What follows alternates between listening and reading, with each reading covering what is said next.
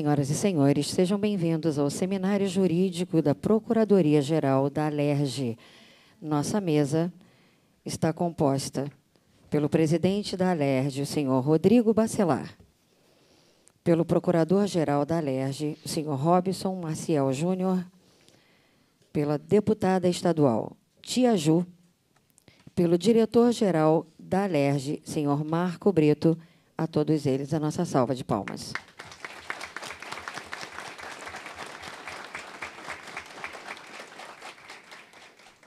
Peço a todas e todos que se coloquem em posição de respeito para a execução do hino nacional. Thank you.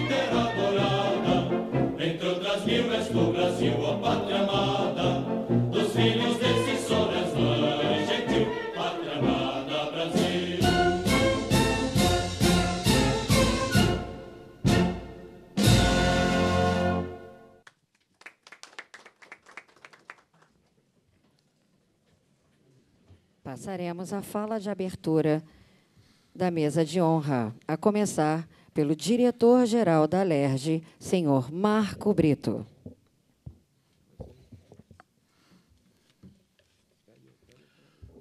Bom dia a todos. Ah, excelentíssimo senhor presidente, deputado Rodrigo Bacelar, amigo, excelentíssima deputada Tia Ju, vice-presidente dessa casa, minha amiga também.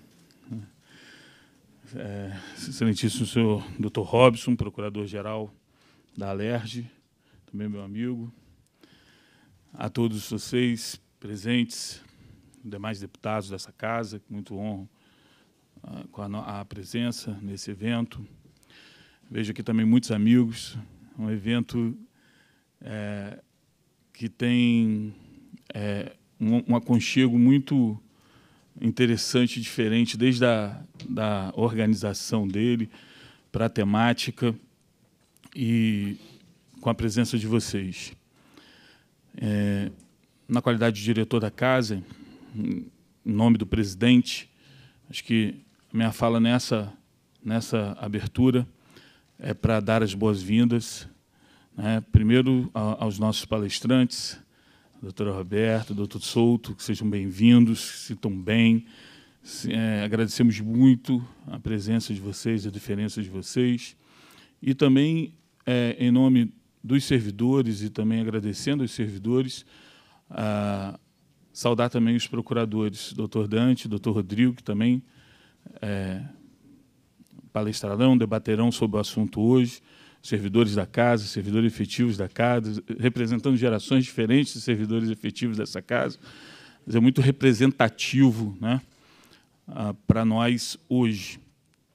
A casa, esse ano, teve a oportunidade de, de presenciar vários eventos, ah, fora a atividade parlamentar, né, não apenas sessão solenes, mas diversas palestras, cursos, cerimônias na, e, e eventos na, na Escola do Legislativo, no Fórum Permanente, na, na, até o, o, o, Departamento de Assistência Médica trouxe muito conhecimento para a gente.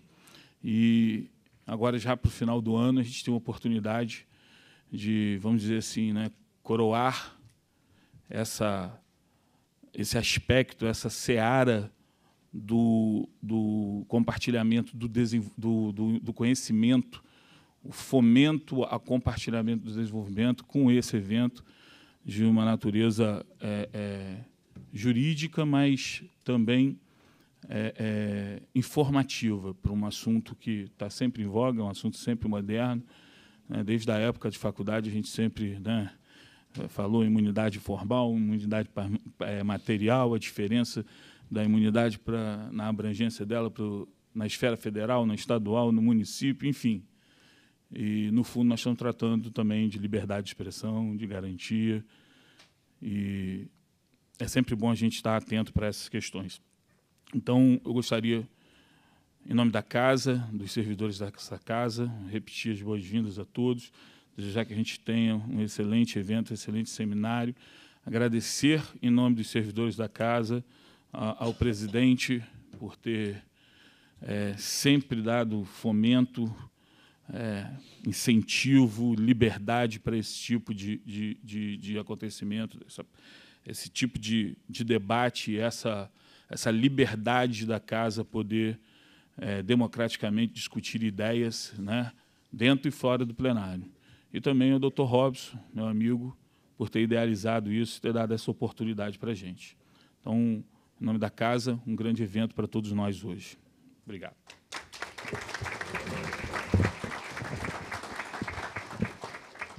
Com a palavra, o Procurador-Geral da Alerj, doutor Robson Maciel Júnior. Muito bom dia a todos. Opa, bom dia a todos e todas. Primeiramente, eu quero dizer que é uma alegria muito grande poder estar aqui nessa manhã, ver esse plenário, esse auditório, na verdade, repleto de, de pessoas, servidores da casa, pessoas de outros órgãos, é, vindo prestigiar um evento que a gente da Procuradoria Legislativa fez com todo carinho e teve como principal motivação um julgamento é, realizado esse ano, na verdade, um julgamento que está sendo finalizado no Supremo Tribunal Federal, uma, uma questão muito tocante a todos os deputados da nossa casa, e essa foi a razão maior, eu junto com o doutor Rodrigo, doutor Dante, a gente conversando, doutora Fátima, doutora Denise, e vendo como que a repercussão desse julgamento afeta o dia a dia dos nossos parlamentares. Então, a, a nossa, A nossa alegria é de saber que o trabalho realizado pela Procuradoria Legislativa pode ser aqui apresentado para um público tão importante e com isso eu agradeço desde já a presença do nosso presidente aqui nesse evento. Essa presença, presidente, nos honra muito. O senhor, a gente sabe que tem uma agenda muito corrida, muito disputada. Hoje é dia de sessão na casa e o senhor está aqui conosco essa manhã. É uma honra para nós, procuradores legislativos, legislativos, ter o senhor aqui na abertura. Nos honra muito, nos engrandece e nos alegra por demais e nos traz a certeza que a gente está re realmente realizando um trabalho no rumo certo. E eu agradeço também a presença do deputado Luiz Paulo, deputado André Correia, dois professores que a gente tem aqui na casa, a gente sempre brinca carinhosamente assim no plenário, é, homens públicos que conhecem a história desse Estado e a história dessa Casa Legislativa como a palma da mão e ver Vossas Excelências aqui na primeira fileira é de aquecer o coração. Muito, muito obrigado. É, eu vou fazer uma breve apresentação do evento. Eu, é, o evento, didaticamente, ele vai é, se desenvolver em dois painéis. O primeiro painel, a gente vai ter o, o querido colega e procurador da Fazenda Nacional, João Carlos Souto, tratando da imunidade parlamentar é, e, e, trazendo é, detalhes importantes sobre o direito estadunidense. O Souto é especialista em direito, direito norte-americano. Todos nós do ramo jurídico sabemos o quanto o direito norte-americano influencia as democracias, a democracia brasileira em especial, mas as democracias ao redor do mundo. Então, esse foi o motivo principal de trazer o professor Souto aqui para fazer essa primeira apresentação. E logo na sequência desse painel, nós teremos o nosso querido doutor Rodrigo Lopes, é, que dispensa apresentações, um procurador é, honrado e festejado aqui dentro dessa casa, é, mentor intelectual da ADI, que foi julgada, está sendo julgada no Supremo, e, obviamente, o doutor Rodrigo vai enfrentar especificamente a imunidade é, adstrita ao âmbito dos parlamentares estaduais. É, nós sabemos, é, eu acho que temos aqui um público não somente de advogados e juristas, mas em muita síntese, a imunidade ela tem um aspecto material, que é a possibilidade do parlamentar é, proferir palavras, opiniões e votos, e ela tem um aspecto que a gente chama de formal no direito, ou processual, que é a prerrogativa de foro do parlamentar de ser processado e julgado num foro específico. É, e a gente tratando da imunidade aqui, tendo como esse primeiro painel o professor Souto e o professor Rodrigo, é, saltou aos olhos a necessidade de trazer um aspecto mais atual do tema. E por isso a gente pensou num segundo painel, e eu estou aqui visualizando a doutora Roberta Simões, advogada do Senado Federal, que vai tratar especificamente da imunidade no seu contexto material, mas com um quê a mais de interesse, pois ela vai tratar dessa imunidade quando publicada nas redes sociais, que é a grande novidade hoje do nosso dia a dia, é a grande ferramenta de todo político. E a doutora Roberta, como advogada do Senado, tem a experiência de estar tá agindo e atuando nos casos mais de maior repercussão quando envolve parlamentares em rede social no nosso país. Na sequência, nós teremos também a nossa prata da casa, o doutor Dante Tomás, procurador recém-contratado, recém-admitido pela casa, que também vai participar dessa, dessa palestra de imunidade parlamentar e rede social. E esse, essa é, em uma apertada síntese, a apresentação do nosso tema. Eu agradeço mais uma vez a presença de todos. Eu gostaria é, de passar a palavra para o nosso presidente. E antes, presidente, apenas eu gostaria de convidar o doutor André Maimone, é, nosso representante da Unali, que veio com muito carinho prestigiar o nosso evento diretamente de Brasília.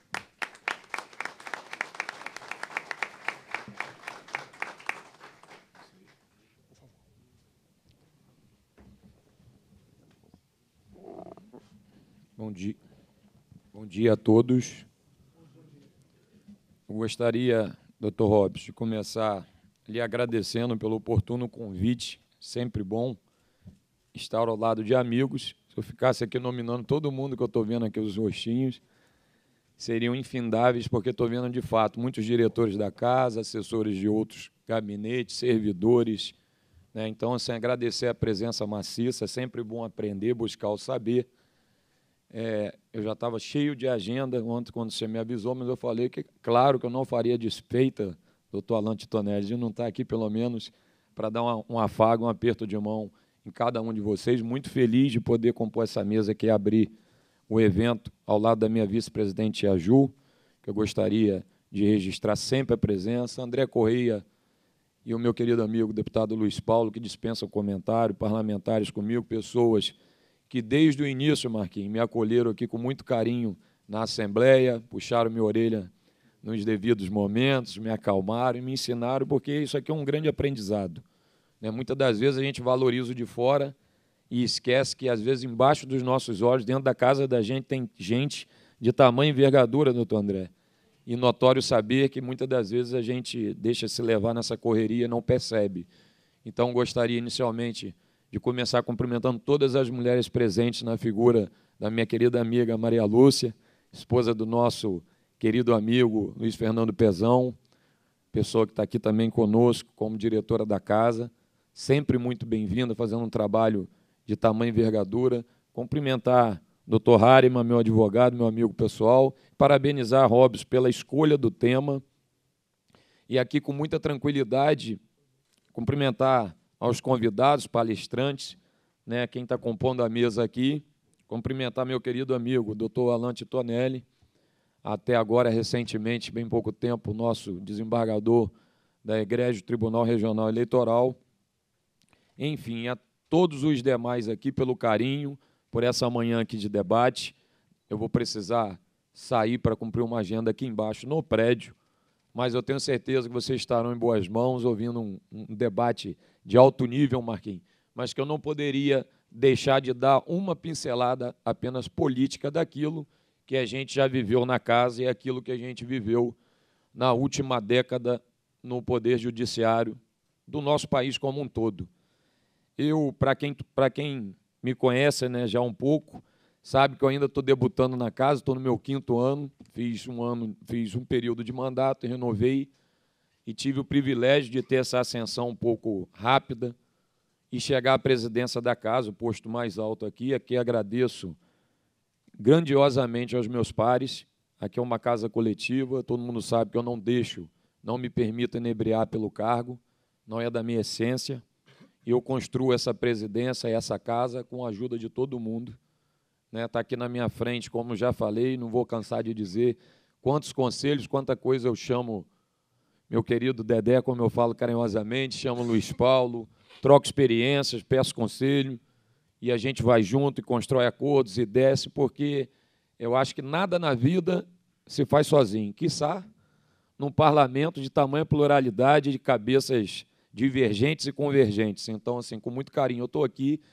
E o tema escolhido para esse debate, eu falei isso com o Dr. Robson durante a semana, é um tema que eu tive a espinhosa e difícil missão. Quando cheguei na casa, ainda com poucos meses de mandato, e aí fico muito à vontade, olhando nos teus olhos, meu querido amigo, deputado André Correia, de ser escalado por uma pessoa que eu guardo muito carinho e consideração, que é o meu antecessor, presidente dessa casa, deputado André Siciliano, para ser o relator de um dos processos que eu considero, né, de um dos problemas que a gente enfrentou na, na legislatura passada, que eu considero até muito mais profundo e grave do que o impeachment do ex-governador Wilson Witzel. Né, eu me recordo que era uma quinta-feira e eu tinha um escritório de advocacia na Graça Aranha, já estava arrumando minhas coisinhas, que o meu hábito era quinta, acabou o plenário, eu passava no escritório, revia as coisas e ia para Campos. E aí eu recebo a visita corrida de Márcio Pacheco de que o presidente siciliano queria falar comigo lá na alfândega, me dirigi para lá e, enfim, sou escalado, Tia Ju, naquele momento, para ser relator daquele fatídico processo Funa da Onça, que acarretou na prisão de diversos colegas, dentre os quais meu amigo André Correia, aqui de frente para mim. E aí a gente tinha o seguinte tema naquela noite, o doutor Rodrigo Lopes estava lá na, na alfândega também. Não estou vendo o doutor Rodrigo aqui. Está sempre escondidinho, mas eu tenho que te achar aí no meio da plateia. Então o doutor Rodrigo estava lá E aí a gente é surpreendido por uma decisão da então presidente da Suprema Corte, Carmen Lúcia, para que a gente deliberasse em 48 horas sobre a questão processual, se a prisão era válida ou não, o que é, eu aqui vou evitar de entrar na parte técnica, porque eu estou olhando um monte de rosto aqui que domina um assunto 20 vezes mais que eu, eu coloco meu pé onde cabe, tá, deputado André? Mas, como um operador do direito também, eu tinha plena consciência que a liberdade dos deputados já era para ter sido dada de ofício e enviada a matéria aqui apenas para a gente discutir a questão da imunidade. Mas, como a gente já sabe, no Brasil, o para-choque, o raio, né, o para-raio é sempre o poder político. É esse o que mais apanha. Com todo o respeito aqui, eu falo isso de cabeça erguida, porque falo para o presidente do TJ, falo para o doutor Luciano, falo para o presidente do TCE, falo para todo mundo. Eu uso sempre um exemplo muito prático. É muito mais fácil a gente num botequim tomando uma cerveja, comendo alguma coisa. Qualquer um tem liberdade de, por exemplo, gritar, deputado, seu ladrão, seu safado. E o máximo que eu tenho que fazer ou é ficar quieto e ir embora, ou cair na porrada com o cara. É, mas nunca, nenhum de nós, cidadão de bem, temos coragem de olhar para um juiz, ainda que saibamos de alguma conduta errada dele, falar, magistrado, seu picareta, vagabundo. Que a gente sai dali direto na traseira de um camburão conduzido para uma delegacia de polícia. Então, assim, eu fico muito à vontade de dar esse exemplo, porque naquela fatídica noite a gente tinha um volume de quase 3.500 folhas para se analisar, com 48 horas para decidir e ser encaminhada à CCJ para depois uma sessão extraordinária e fazer um enfrentamento de um volume de problemas daquele. E aí ainda num Estado democrático de direito, Maria Lúcia, que se clamava aquela questão de jogar todo mundo na praça pública e ser exilado. E aí o deputado de primeiro mandato chegando e tive que enfrentar aquele tema, cancelei minha viagem imediatamente, montamos um grupo de trabalho, trabalhamos sexta, sábado, domingo, incessantemente, e aí, pasmem, Aline, eu tinha ainda na segunda para enfrentar o meu decano aqui, meu velho de guerra, Luiz Paulo de Frente.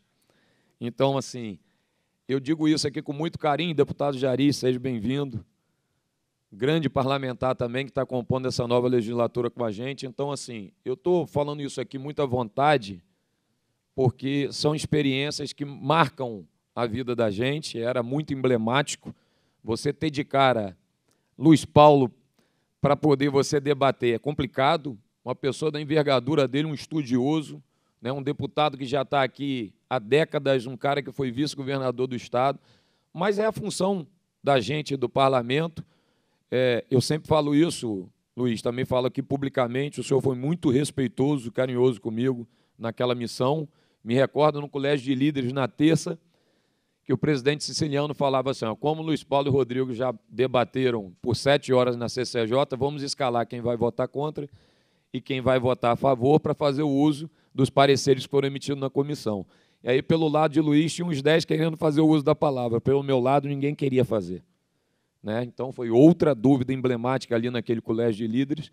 E eu levantei o dedo, e aí muita gente me vê como brigão, né, Harry? Mas na verdade eu tenho um pouquinho de coragem que eu acho que eu peguei do meu pai. Não devia ter pego tanto, mas levantei o dedo e falei humildemente, doutor André, para o meu querido amigo siciliano. Eu falei, olha, já que fui eu que escrevi isso, já exaurimos isso tudo ontem lá na comissão. Se ninguém está confortável, ninguém melhor do que eu para poder fazer a sustentação oral aqui para tentar convencer os demais colegas, e assim foi feito. Eu estou fazendo esse resumo aqui factual daquele episódio, porque mostra o arrobo, em especial, do Ministério Público Federal durante alguns anos que se imperou nesse Brasil. Ontem eu fui pego, já não era de se esperar diferente, por um jornal que colocou que o Albertácio e o Paulo Melo ontem acabaram de ser totalmente excluído desses problemas, o processo foi arquivado como eu tenho certeza de Vossa Excelência, do deputado, ex-deputado Chiquinho da Mangueira e tantos outros, porque virou essa máxima realmente de, no nosso país, tudo de ruim ou político. Né? Como que qualquer outra das, das classes profissionais não tivesse desvio de finalidade, de caráter. Que eu falo, o, a perversão ela está na falta de caráter e de personalidade do ser humano, não está por eu ser político. A gente tem bombeiros militares corruptos, a gente tem professores corruptos, médicos, né? em qualquer classe.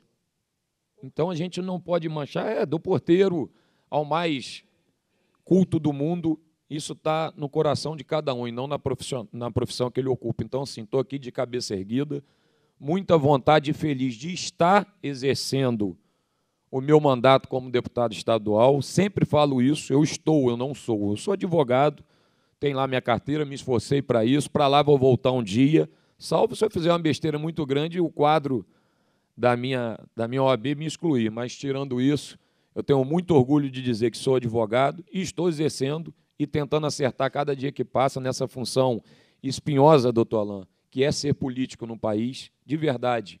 Muitos acham que é fácil demais, que é só ganhar o salário, mas ninguém vê a hora que a gente chega aqui, a hora que a gente sai, filho que a gente não vê, pai que eu não consigo visitar mais.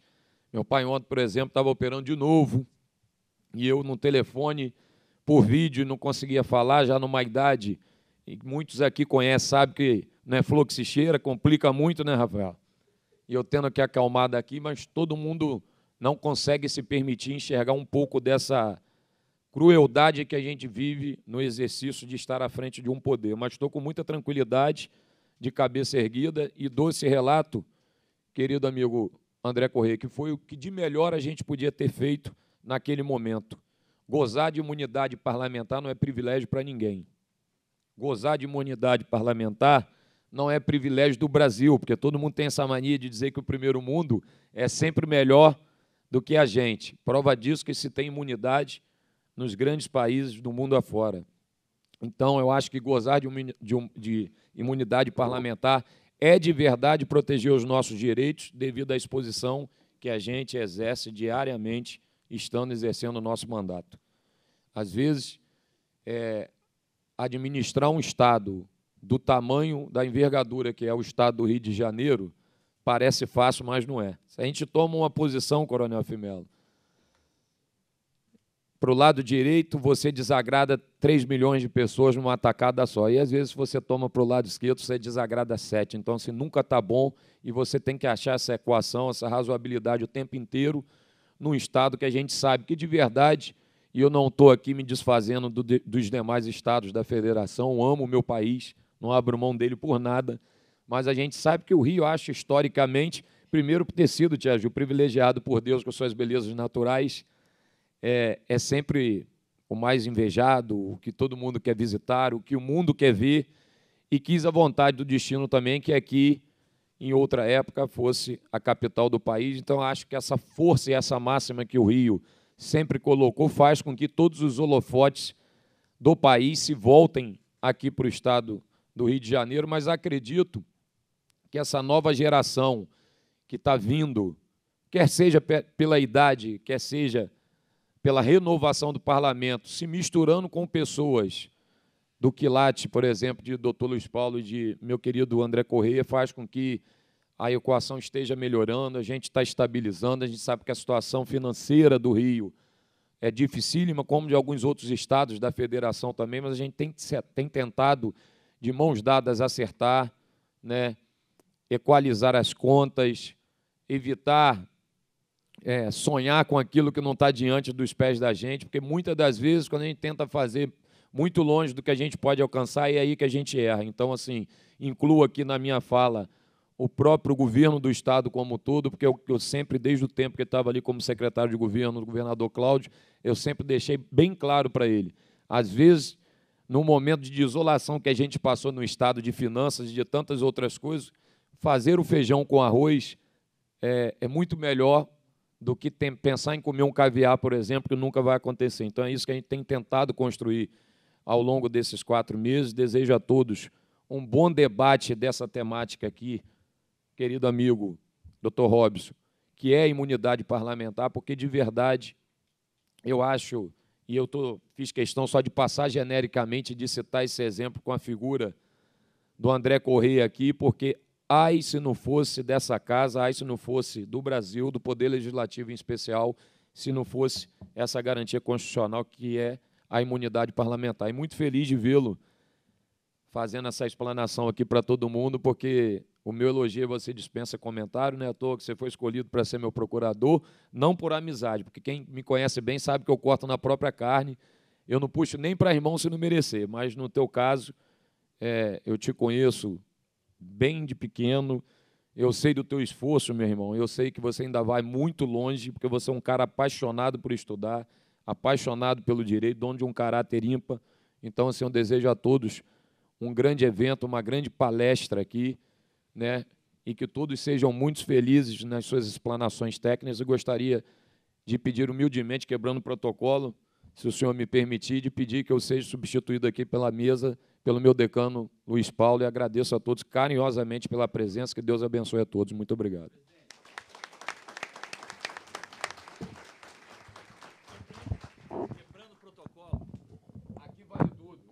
Quebrando o protocolo, como eu fui citado, eu acho importante. É regimental. É regimental.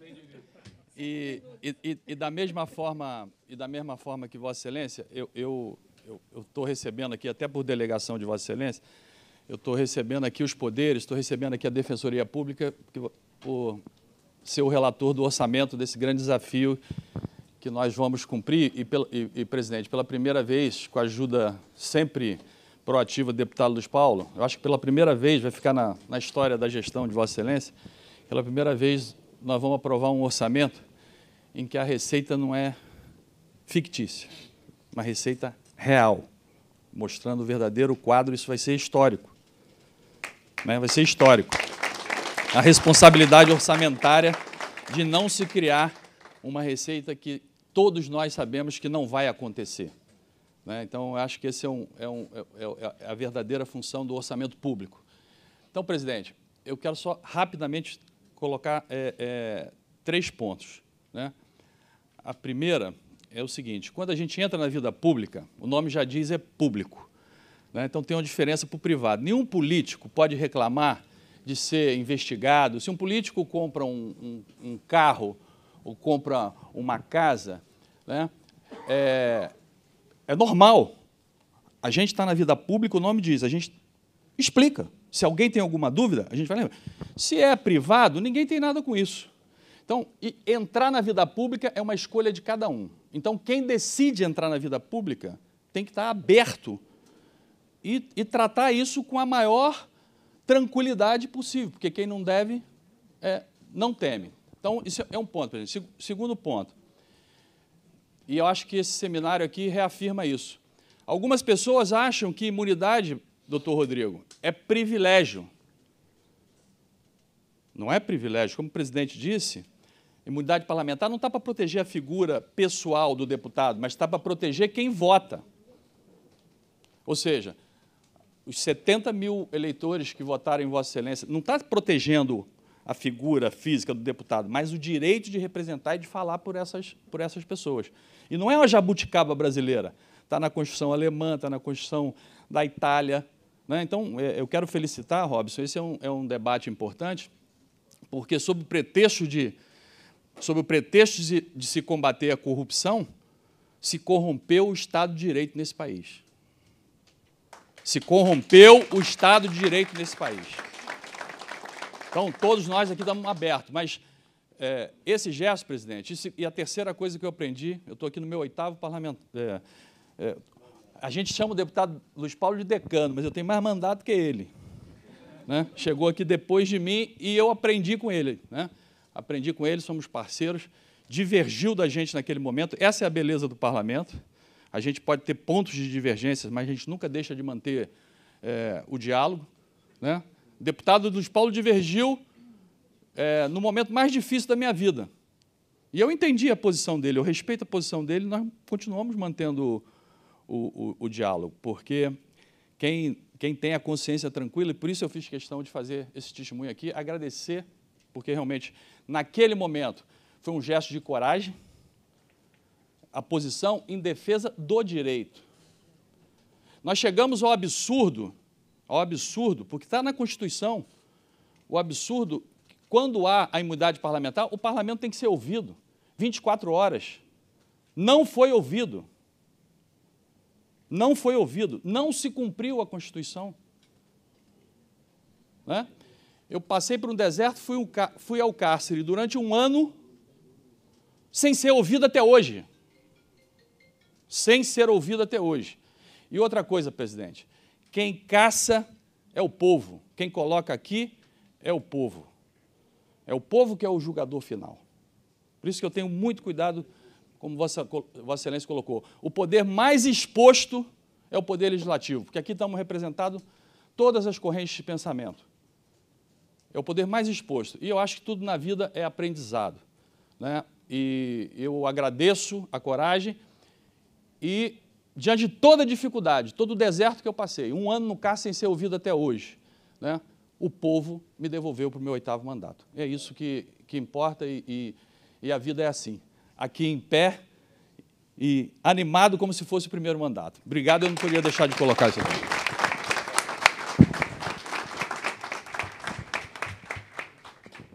Presidente, queria, gostaria de entregar um, singela homenagem, um diploma de participação aqui no nosso evento. Agradecer mais uma vez a presença.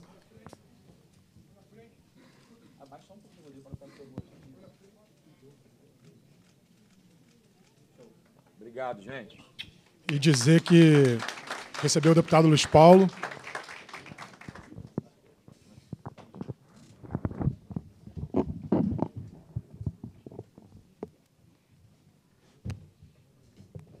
Dando, oi, dando sequência aos trabalhos, dizer que, obviamente, que a gente não controla o que acontece, mas essa é a verdadeira intenção de promover um seminário, um evento jurídico. É conseguir tocar aonde realmente precisa ser discutido. Eu acho que o que aconteceu aqui agora demonstra que o tema é importante, afeta a vida de pessoas e certamente a gente vai ter aqui uma manhã de muito proveito para todos nós. É, gostaria de passar a palavra para também a minha querida amiga, uma pessoa que honra muito a mim especialmente, mas eu tenho certeza que a todo o parlamento, nossa segunda vice-presidente, deputada Tia Ju, uma pessoa, uma mulher firme, guerreira e que nesse assunto em especial nunca mediu esforços para contribuir com a Procuradoria Legislativa quando a gente mais precisava. A gente, por duas vezes, no julgamento perante o Supremo Tribunal Federal, precisava fazer contato com o doutor André, lá para pedir o apoio da Unali, em questões técnicas que era um peticionamento que precisava ser feito, um pedido de, de retirada de pauta ou não, uma estratégia processual, e Tia Ju sempre atendendo, criando pontes, e através dela hoje nasceu uma amizade aqui com o doutor André. Tia Ju, por favor. Bom dia a todos e todas. É, quebrando o protocolo, antes de saudar a mesa, e já saudando o senhor, doutor Robson, uma pessoa que eu tive a grata honra de conhecê-lo, né, ao se tornar procurador desta casa. É, muito obrigada pelas palavras de carinho e a recíproca é verdadeira, tá? O mesmo eu, eu tenho o mesmo sentimento pelo senhor, pela sua dedicação, pela pessoa que o senhor é. Por isso que às vezes eu fico lhe exaurindo, lhe, lhe colocando em diversas mesas de, de eventos, de debates e sempre pronto, dizendo: estou lá, Tia Ju. Muito obrigado por, esse, por, por essa parceria, por essa amizade. Saudar aqui é, o nosso querido diretor-geral, que também tem, tem me feito me apaixonar por ele, com a permissão da esposa dele e dos filhos, pela pessoa que é, a, a tranquilidade da, de como ele conduz as coisas, e não são poucos os problemas que uma casa. Isso aqui é um Estado para cuidar, né? É um Estado dentro do Estado. Essa casa legislativa é, é um, uma administração como se fosse de um Estado. E eu parabenizo muito ao, ao, ao senhor, porque a sua paz e tranquilidade em conduzir as coisas, quando a coisa pega muito, doutor Robson, para quem não fica muito próximo do, do Marcos Brito, o Marquinho, como a gente chama, quando o bicho pega, ele só faz assim. Respira fundo, mas não perde o tom. Né? Eu chegarei um dia, quando eu crescer, eu vou chegar a essa capacidade de só respirar. eu já dou dois socos na mesa. Né? ao queridíssimo doutor Luiz Paulo, deputado aqui, a gente chama ele de decano porque. Eu sou mais. É, deve ser. Mas dizer que, que ele já sabe, já conhece esse ponto de vista meu, o gabinete do deputado Luiz Paulo é um gabinete que atende os 70 deputados, basta querer. Ele sempre está pronto, auxilia a gente, é, ele entende de matérias que muitas das vezes o nosso mandato não domina, mas a gente, por ser é, representante do povo, precisa entender e tomar decisões com profundidade. E o deputado Luiz Paulo nunca se furta, sempre atende, já me acompanhou é, em reuniões fora da casa para tra tratar de alguns temas, de projetos que estavam na relatoria dele, enfim, sempre se coloca à disposição de todos. Ele não se coloca, olha, isso aí não tem nada a ver, a assessoria dele também. Então, quero aqui em público agradecer. Ainda bem que a gente conseguiu colocar uma sala né, com o nome do doutor Luiz Paulo, porque super merece, porque tem contribuído com é, a Assembleia. Ele, ele é uma pessoa corporativista.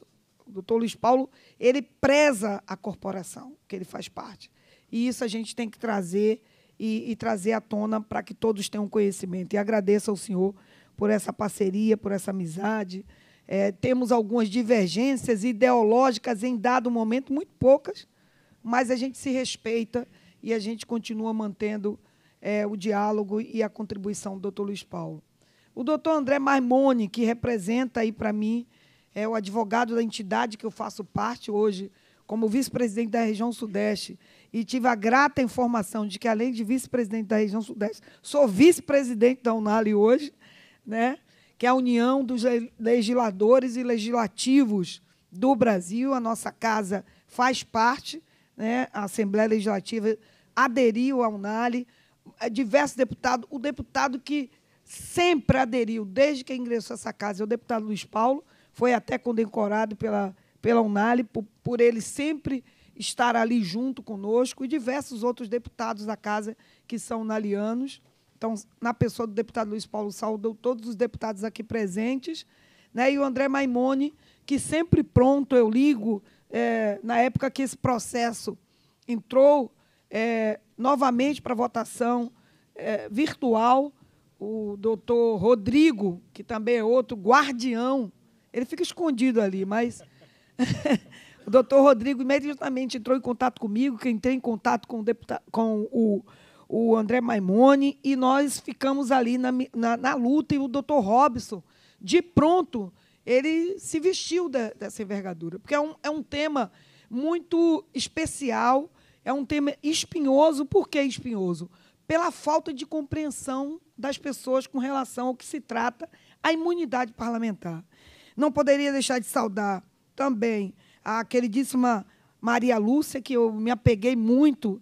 Cheguei em 2015, o, o Pezão era o governador, um querido, e me apeguei com muito carinho a essa mulher ilustre e que sempre desenvolveu um trabalho especial, né? É, voluntário e com muita dedicação, que a todos os lugares que eu vou, eu falo da senhora. Quando a gente entra ali no palácio, a gente vê a sua mão, porque eu me lembro que a reforma daquele palácio todo foi feita com um trabalho do Rio Solidário à frente, a senhora, qualificando meninos e meninas da comunidade, meninos negros excluídos. Eu falo isso porque estamos no mês, né? Ainda no mês da consciência negra. E a, a senhora Maria Lúcia qualificou aqueles, aqueles garotos, meninas, ressignificou a vida deles, né? fazendo com que eles tivessem ali a capacitação como restauradores, uma profissão que, que garante um, um salário digno, com recurso muito digno, e contribuiu ali para a reforma, numa crise financeira do nosso Estado, deixando o Palácio Belo, entregando para aqueles meninos e meninas negras da periferia uma bela profissão. Então, eu não esqueço desse seu ato, acompanhei, parabenizo. Esse é um dos, né? E a todos os palestrantes aqui ilustres que irão é, estar aqui nessa manhã, enriquecendo o nosso conhecimento. Disseminar o conhecimento, eu sou apaixonada por estudar, eu sou apaixonada por conhecimento, E o direito vive me puxando. Eu já fiz um monte de pedaço do direito, né? Direito constitucional, direito é, econômico, direito da infância e adolescência, direito da mulher, direito. E, e da, agora estou no mestrado de, de, com o tema Direitos Fundamentais e eu vou fazer o direito direito, vou terminar todo. Já tenho minha graduação e venho fazendo pós e, e agora estou no mestrado, mas quando eu terminar o mestrado, doutor Robson, eu vou voltar para a faculdade de novo e vou concluir o direito. Vou fazer tudo direito. Vou pegar o AB, vou fazer tudo, porque eu amo estudar e eu gosto demais do direito. Eu me aprofundo, eu estudo o direito, eu gosto demais. E quando a gente fala aqui com a minha breve fala que já está aí se, se prolongando, quando a gente fala da violação do, dos direitos, do, do Estado de, de, Direito, quando essa casa foi violada com a prisão dos deputados, porque houve uma violação da casa, eh, eu não sou jurista, mas, como eu falei, eu sou muito curiosa do tema, e do Estado Democrático de Direito. É, hoje eu, brinco sempre que a é, nossa posição enquanto representante público, popular, é, representante do povo, a gente está vivendo uma profissão de risco. Inclusive com a questão da imunidade parlamentar, que é muito confundida, achando que nós queremos legitimidade para fazer coisa errada, que é, um, é, é algo totalmente distorcido. O direito não será ao nosso favor se nós não tivermos direito. Essa é a grande verdade. Mas a gente não pode ter cesseado o direito é, parlamentar, inclusive de falar, de se posicionar, segundo é, até o, o, público que nos colocou nessa casa. Né? Então, a imunidade parlamentar é um tema importantíssimo e a gente faz questão, sei que vai ficar gravado, vai estar no YouTube, a gente vai disseminar. Não é só para quem estuda direito, eu acho que todo mundo tem que conhecer. Essa falta de conhecimento é quem, é quem criminaliza. A, o, o deputado hoje na verdade, é, o legislativo foi muito marginalizado em detrimento de, de fortalecimento de A, de B, de C. Os poderes são independentes, mas precisam ser harmônicos. Porque o que mais a centralidade de tudo isso é que quando um poder, em detrimento de alguma coisa ou de algo, tenta destruir o outro, perde-se a harmonia e o Estado democrático de direito passa a correr risco. Esse que é o cerne da questão, na minha visão. E nós não queremos o Estado democrático de direito correndo risco a todo tempo, doutora. Nós, eu amo a democracia, eu nasci na ditadura. E eu não quero a ditadura de novo. Eu não quero. Então, nós queremos. A, a nossa ideia, é, na minha concepção, eu preciso defender o Estado democrático de direito com unhas e dentes. Os partidos políticos precisam se unir neste momento para defender o Estado Democrático de Direito, porque os partidos só existem porque existe democracia. Se não existir democracia, não existirá mais partido político. Então nós temos que os partidos precisam salvaguardar a democracia e a imunidade parlamentar faz parte disso. Então eu quero deixar aqui é, o meu carinho e, e parabenizar pela iniciativa, doutor, de trazer esse tema parabenizar a todos os servidores, a todos vocês que estão participando aqui hoje, nesta manhã. E vai ser uma manhã de aprendizado. Eu vou estar sentadinha aqui ouvindo, com certeza. E vou dar uma saidinha ali só para resolver um probleminha e já volto sentar aqui, que eu vou estar acompanhando. Parabenizar muito a iniciativa. É, e o conhecimento, ele é poder. E quando a gente detém esse conhecimento, a gente fica mais poderoso cada vez mais para defender os direitos que nos foi outorgado, que é defender o direito público e o direito da população que nos colocou neste lugar. Então, parabéns, boa palestra, vai ser rica, eu não tenho dúvida, pelos palestrantes que irão aqui explanar os seus conhecimentos. Desejar a todos sucesso, parabenizar a casa, porque foi um ano rico, realmente, com muitos fóruns, muitos debates.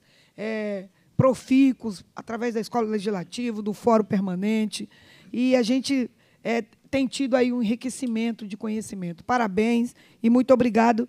Me sinto honrada por estar sentado nessa mesa, poderia ser qualquer outra pessoa. Agradecer ao deputado Rodrigo Bacelar, nosso presidente, que tem trazido um, um, uma presidência diferente. O deputado Rodrigo Bacelar, ele tem compartilhado o poder. Ele não centraliza o poder nele. Ele delega. O meu vice-presidente tal vai fazer isso, o meu vice-presidente tal vai fazer aquilo. Tem delegado poderes. E às vezes as pessoas não entendem. Ah, eu quero falar com o deputado Rodrigo Bacelar sobre esse assunto. Ele delegou a mim. Então, se sinta-se representada por ele, porque ele, ele faz a gestão dele dessa forma, delegando poderes aos demais da mesa diretora. E isso é muito especial, isso é muito interessante. Muito obrigado e eu deixo aqui um forte abraço. Eu sei que ele teve que se ausentar. Para o Rodrigo Bacelar também, por é, ter essa, essa postura de delegar poderes para os demais membros da mesa diretora, compartilhando o poder para que todos possam contribuir com a gestão dessa casa. Muito obrigada.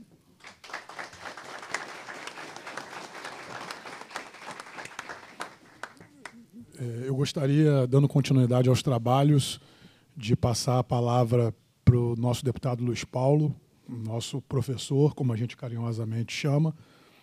Mas antes disso, eu gostaria de registrar a presença do doutor João Lima, que eu estou vendo aqui atrás, juiz auxiliar da presidência do Tribunal de Justiça do Rio de Janeiro, dizer que é uma honra ter o senhor aqui conosco, doutor João. O senhor que tanto prima por esse valoroso diálogo entre os poderes, um ser humano íntegro e, acima de tudo, com um trato pessoal é, inigualável. É muito honroso para a gente ter Vossa Excelência aqui na nossa plateia. Gostaria também de registrar a presença da nossa deputada Carla Machado, uma parlamentar importante aqui dentro dessa casa, primeiro mandato, representando o nosso Norte Fluminense, uma pessoa muito querida, em especial para mim, minha amiga pessoal, nosso querido desembargador eleitoral Alan Tonelli, é, membro do Tribunal Regional Eleitoral do Estado do Rio de Janeiro, e ao longo do evento eu vou registrando a presença das demais autoridades. Estou vendo aqui diretores, queridos amigos, mas antes disso eu gostaria de passar a palavra para o nosso deputado Luiz Paulo. Bom, bom dia a todas e todos. Primeiro, agradecer ao presidente Bacelar ter feito essa distinção e ter me convidado aqui para substituí-lo na mesa, visto que não sou nem da mesa diretora. O senhor faz parte dela sempre. E quando eu sentei aqui, doutor Robson, já me solicitou que eu não abrisse divergência. Por tudo que eu já ouvi aqui, eu teria pelo menos uma dezena de divergências para abrir. Né? Até porque lá na CCJ, né, o, o, o, meu apelido é o voto divergente. Né? Cá entre nós, o voto divergente que é sempre derrotado. Né?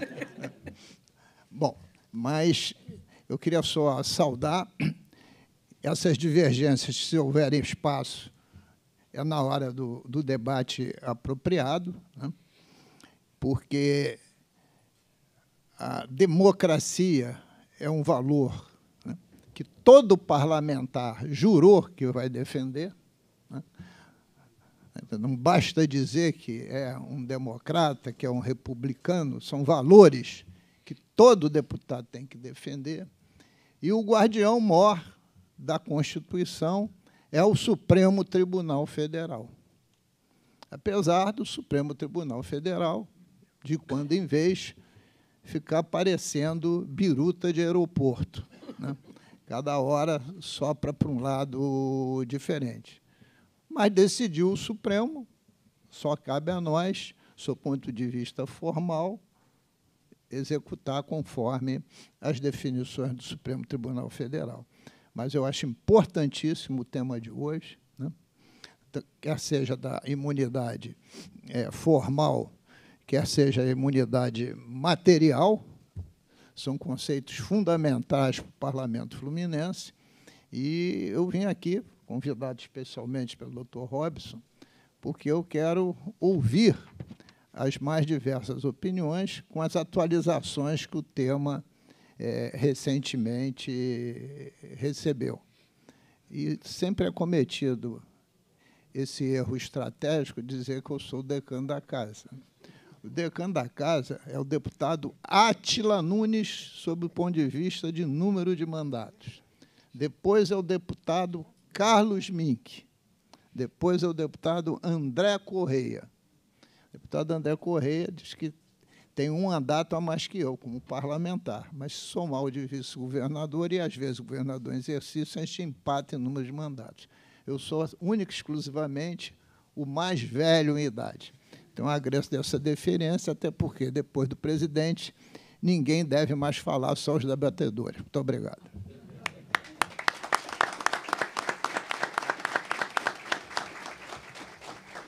Eu gostaria de é, encerrar essa mesa de abertura, no momento que eu vou fazer a entrega aqui de, um, de uma leve, de uma singela homenagem aos participantes, e já convidar o doutor João Carlos Souto e o doutor Rodrigo Lopes para tomar assento e a gente, na sequência, iniciar o primeiro painel.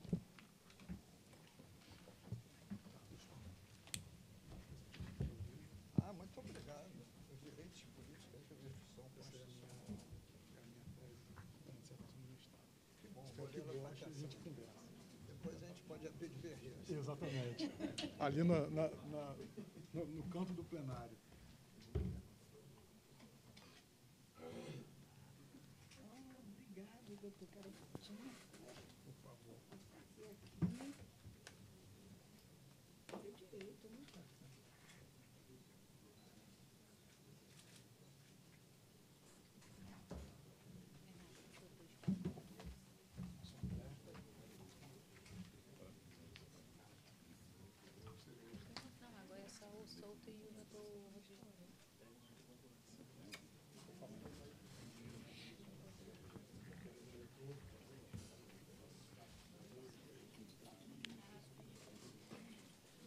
Em tempo, antes de compor a mesa do primeiro painel, quero estar agradecendo a presença do diretor de finanças, o senhor Lauro Pereira, do coordenador institucional de segurança, o coronel Melo, da diretora do apoio às comissões permanentes, senhora Aline Pimentel, agradecer a presença da diretora do cerimonial, Aline Araújo, do diretor de informática, Rafael Diniz, Agradecer a presença do diretor da gráfica, senhor Leandro Pinho. Agradecer a presença do diretor de engenharia, senhor Antônio Pádua, do diretor de patrimônio, senhor Luiz Antônio, da diretora de arquivo, senhora Evelyn de Fátima, e que neste momento possamos receber calorosamente para o primeiro painel com o tema Imunidade Parlamentar no âmbito estadual e no direito estadunidense, recebamos o Procurador da Fazenda Nacional, Dr. João Carlos Souto, e o Procurador da Alerj, Dr. Rodrigo Lopes. Os recebamos com uma salva de palmas.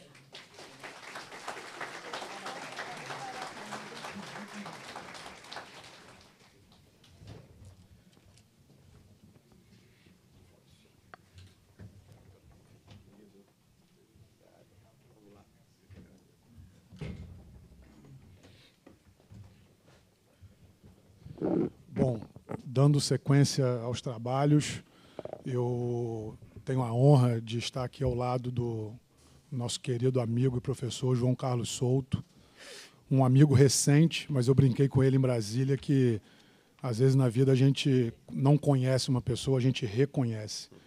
É, João Carlos Souto tem um currículo maravilhoso, primoroso, um profissional festejado no Distrito Federal, especializado em direito norte-americano e para nós da Assembleia Legislativa é uma honra muito grande ter Vossa Excelência dispondo do seu conhecimento, do seu tempo para dividir conosco. Sem maiores delongas, por favor. Uma palavra. Bom dia, bom dia a todas as pessoas presentes neste recinto.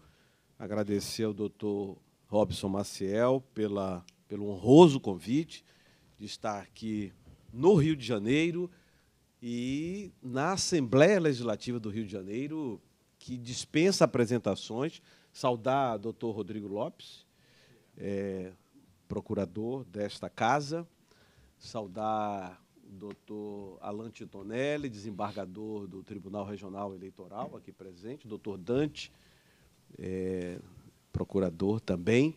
Então é uma honra é, estar falando no Rio de Janeiro, é uma honra estar falando numa Assembleia Legislativa e é uma honra maior ainda estar falando na Assembleia Legislativa de um Estado e de um local que durante tanto tempo, durante mais de dois séculos, de 1762 a 1960, praticamente 200 anos, sediou a, a, sediou a capital, né? sediou a, a capital do Império e a capital da República. Então, é uma honra.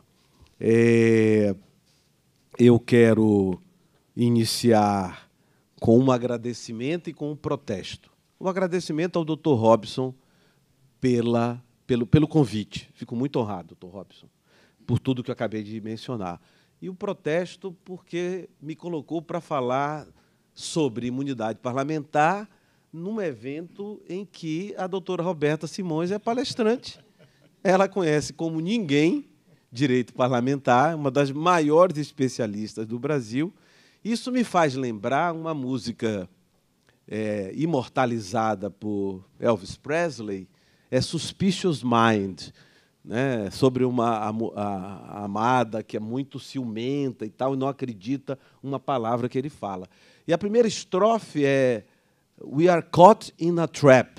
Quer dizer, eu estou me sentindo numa armadilha. Quer dizer, o, o, o doutor Robson me colocou numa armadilha porque eu vou falar de direito parlamentar, um tema que eu não conheço assim como a doutora Roberta Simões conhece.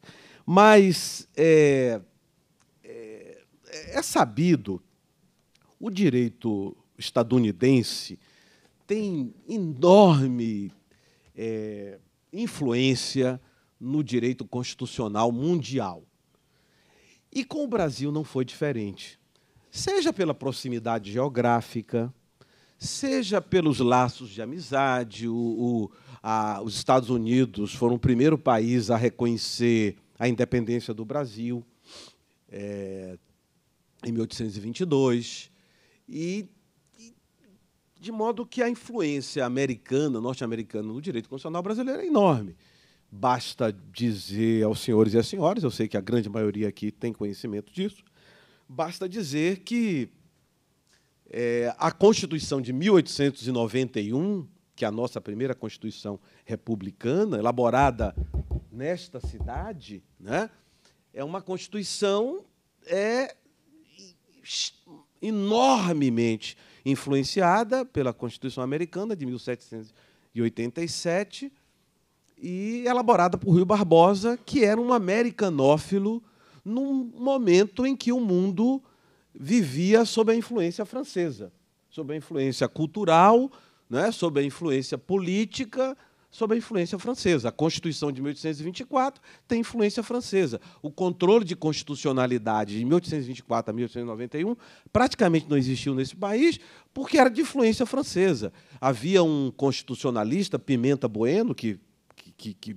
reinou né, nessa cidade, ele dizia: olha, só quem pode tocar na, é, na lei é o legislativo, é o poder que elabora a lei. Né? Então, a influência foi muito grande. E aí nós, rapidamente,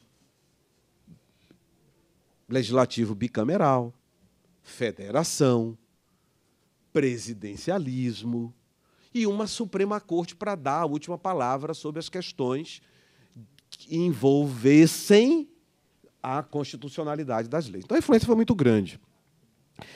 É, essa influência que eu acabei de resumir aqui, nesses pontos mais relevantes, repito, legislativo bicameral, federação, república, Suprema Corte, presidencialismo, tudo que nunca existiu antes, nunca existiu antes, fora do ponto de vista é, doutrinário, mas a Constituição americana é a Constituição que incorpora esses valores iluministas que antes não passavam de mera doutrina. Diz: olha que coisa bacana, olha que doutrina boa eu tenho aqui de separação de poderes. Mas ninguém antes tinha concretizado, né? Concretizado. A Constituição americana é a primeira que concretiza isso e a, e a, a brasileira veio logo em seguida. Mas como tá, nós vamos falar sobre, sobre é, imunidade parlamentar e direito parlamentar, Eu quero lembrar que é, essa influência também se dá nos pequenos detalhes. Por exemplo, por exemplo, a Constituição de a Constituição americana fala que alguém pode ser é, deputado depois de sete anos naturalizado e senador depois de nove anos. A nossa Constituição, a nossa primeira, foi mais ou menos nessa linha também.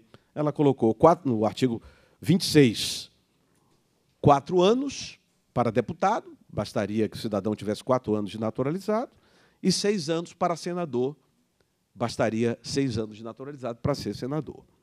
Mas eu quero chamar a atenção para o artigo 20 da Constituição de 1891. Eu deveria ter trazido, mas não trouxe um.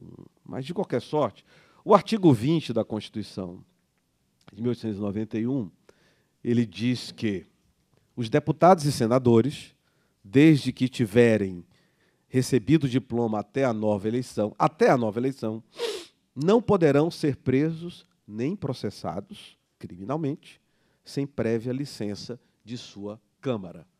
Não fala Senado, de sua Câmara. Né? Então, deputado, senador de Câmara Baixa e Câmara Alta, como se, como se estabelece. Esse, é, essa é a redação de 1891. Eu não vou fazer um passeio aqui por todas as constituições, primeiro que não há tempo, não é essa a proposta. Não vou falar da Constituição de, de 34, a de 37 não deve ser grande coisa, nesse particular. Não vou falar da Constituição de 46, não vou falar da Constituição de 67, nem da de 69, mas vamos dar um salto para a Constituição de 1988, na redação original do artigo 53 da redação original da Constituição de 1988, que diz mais ou menos a mesma coisa. Desde a expedição do diploma, os membros do Congresso Nacional não poderão ser presos, salvo em flagrante crime inafiançável, tal, tal, tal, tal que é a imunidade formal, o indeferimento do pedido de licença, assim, sem prévia, prévia licença de sua casa. Não pode ser preso sem prévia licença, nem processados, né? não poderão ser presos, salvo flagrante criminal, sem, nem processados criminalmente, sem prévia licença de sua casa. Tá? Isso é o que diz o artigo 53, redação original de 1900 88. O que, que acontece? Acontece que a Câmara dos Deputados passa a ser presidida por um jovem, um jovem do PSDB, um jovem eleito pelo Estado de Minas Gerais, mas um jovem que ama o Rio. Né? É, aliás, quem é que não ama o Rio, na é verdade? É, mas estou me referindo a Aécio Neves. Né?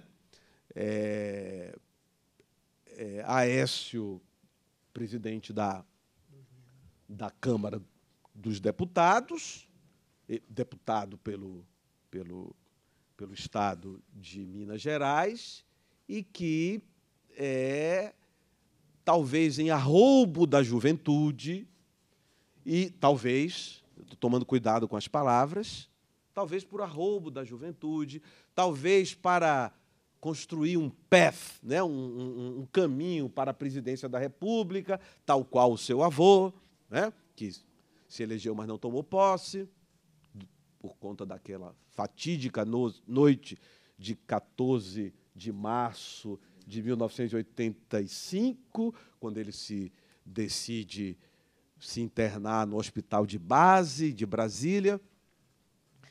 E então talvez por isso o deputado, presidente da Câmara dos Deputados, Aécio Neves, e talvez por uma pressão popular também, resolve alterar esse artigo. E esse artigo é alterado. Eu espero não estar falando bobagem para depois a doutora Roberta não me corrigir aqui. Na minha ela tem tanta coisa para falar que ela não vai entrar nesse, nessa seara. Então, a emenda 35, barra 2001, é alterada. É possível uma discussão se isso era cláusula pétrea? Não sei. É, é, não, não vejo como teratológico levantar esse tipo de discussão na medida em que diminui a prerrogativa do parlamentar, do parlamento, do, do parlamento brasileiro, porque isso acaba se reproduzindo do ponto de vista de Estado e tudo mais. Então, é possível uma discussão sobre a, a razoabilidade, já que a razoabilidade serve para construir tantas e tantas teses no âmbito da nossa Suprema Corte, que é, é construída a exemplo da Suprema Corte americana, é uma questão que se levanta. É possível? É possível. Não é? é possível discutir-se nesse ínter, nesse tema especificamente. Bem, feitas essas considerações da redação original da Constituição de 1891, da redação original da Constituição de 1988, da emenda constitucional 35 que tira do parlamento, da casa respectiva, a possibilidade de dizer: não, esse processo não vai continuar ou não respondo sobre ele. Não é? algo que poderia ser superado, porque é, se há uma mesa que não dá seguimento a processos, é de se imaginar que o eleitorado desse cidadão vai estar atento a isso e vai dizer: olha, isso não me serve, vamos é, mudar a composição ou não vamos reconduzi-lo ao parlamento. Esse é um ponto, é um ponto um. Ou então, poder-se-ia ter proposto na emenda 35 um prazo maior, dizer, olha, se a Câmara não deliberar em seis meses, porque a prescrição está suspensa, se a Câmara não deliberar em um ano, alguma coisa tem que ser feita. Tá? Eu tô, estou eu tô dando alternativas. E dando alternativas, doutor Robson, que podem muito bem ser objeto de uma proposta de emenda, por que não? Todos sabemos que das três entidades, vamos chamar assim, que podem propor alteração à Constituição Federal, presidente da República, um terço dos deputados federais, um terço dos senadores, ou mais da metade das assembleias legislativas, cada uma delas manifestando-se pela maioria relativa de seus membros, artigo 60 da Constituição. Pode muito ser, bem ser proposto. Salvo engano, na história republicana brasileira, não houve nenhuma proposta de emenda. Uma vez? Uma. uma. vez, tem uma, né? Ah, é recente? Quanto tempo? Não. É? 2012, né? 2012? É recente. É recente, é recente. É recente. Nós estamos com nós estamos. Inclusive está quase sendo ressuscitada pelas informações que eu tenho. É. Estão tentando. nós, sim, mas, mas, não, mas não está tramitando. Não. Então é, é o que eu é, é, é, onde eu ia chegar. Quer dizer, não houve nenhuma que, né? Por que não se tentar desse tipo? Então essa é a primeira proposta é, doutor Robson, no que diz respeito ao tema que me foi proposto, o, é, a imunidade parlamentar. Então, essa é a crítica que eu faço à emenda 35, e essa é uma, uma das soluções possíveis. Evidentemente que eu não estou reinventando a roda, vocês já devem, aqui ali, nas, é, diver, nas 27 Assembleias Legislativas e, e, e Câmara Legislativa, ter pensado nessa proposta. Voltando um pouco para o direito norte-americano, há uma maior, um maior cuidado com o mandato parlamentar nos Estados Unidos. Né? Então, o mandato parlamentar é quase que intocável. Talvez porque dure. Quer dizer, o mandato parlamentar de deputado federal, grande parte devem saber aqui, é de dois anos. Um deputado federal nos Estados Unidos permanece por dois anos, a cada dois anos uma nova eleição, tempo curto, mas é assim que funciona. E o mandato para senador são seis anos, diferentemente do, do nosso aqui. Mas há uma, um cuidado no que diz respeito à soberania popular. É, não nos esqueçamos, a título de direito comparado, que em alguns estados o juiz é eleito. O juiz de primeiro grau e o juiz de segundo grau, juiz de Suprema Corte, são eleitos. Então, eu estou trazendo esse detalhe para demonstrar a, a, a importância que a consulta popular, a manifestação do do povo tem no direito norte-americano. Aliás, não é raro, em, não digo toda, mas em várias e várias e várias eleições estaduais, é, serem objetos de consulta popular sobre os mais diversos assuntos. Liberação da maconha recreativa, jogo de jogo, etc, etc, etc. Então é muito comum a consulta popular. Então, é, há um tratamento diferenciado no direito norte-americano no que diz respeito ao mandato e no que diz respeito ao direito brasileiro. E eu quero lembrar um detalhe aqui que os mais jovens podem não ter conhecimento. O que me chamou muito a atenção, eu já era professor, eu sou professor de direito constitucional desde fevereiro de 96. Gosto muito de dizer, os que me são próximos, eu sempre complemento, ininterruptamente. Então, eu, eu, eu, eu leciono direito constitucional desde 96. E me chamou muito a atenção o caso Celso Pita, em 2000. No Celso Pita se elegeu, tomou posse como prefeito de São Paulo, no dia 1 de janeiro de 97. Quem era o vice de Celso Pita? Alguém sabe? Ninguém é obrigado a saber. O vice de Celso Pita era um desembargador, ex-presidente da AMB. Não era pouca coisa, não. O nome dele era Regis de Oliveira. Tive com esse cidadão, desembargador Alain, umas duas ou três vezes reivindicando benefícios para a advocacia pública, porque ele foi deputado federal também. Olha que o cidadão tinha uma, uma veia política acentuada. Foi presidente da MB, foi deputado federal e foi vice-prefeito de São Paulo. Celso Pita cometeu lá um deslize mínimo que fosse. Mínimo. O que aconteceu com Celso Pita? Teve o um mandato suspenso. Isso é uma heresia. É o desrespeito ao mandato popular. Celso Pita teve o um mandato suspenso em 24 de março de 2000 por decisão, não foi do TJ não, foi do juiz da 13ª Vara da Fazenda Pública de São Paulo. Ficou 18 dias fora, é, suspenso do mandato. Nesse íntere, doutor Rodrigo, o processo foi a, um, a uma Câmara, foi a um desembargador, um desembargador suspendeu, o outro já casou. Vamos combinar aqui, o vice dele, que assumiu, não nos esqueçamos, era ex-desembargador e ex-presidente da AMB. Certo? É...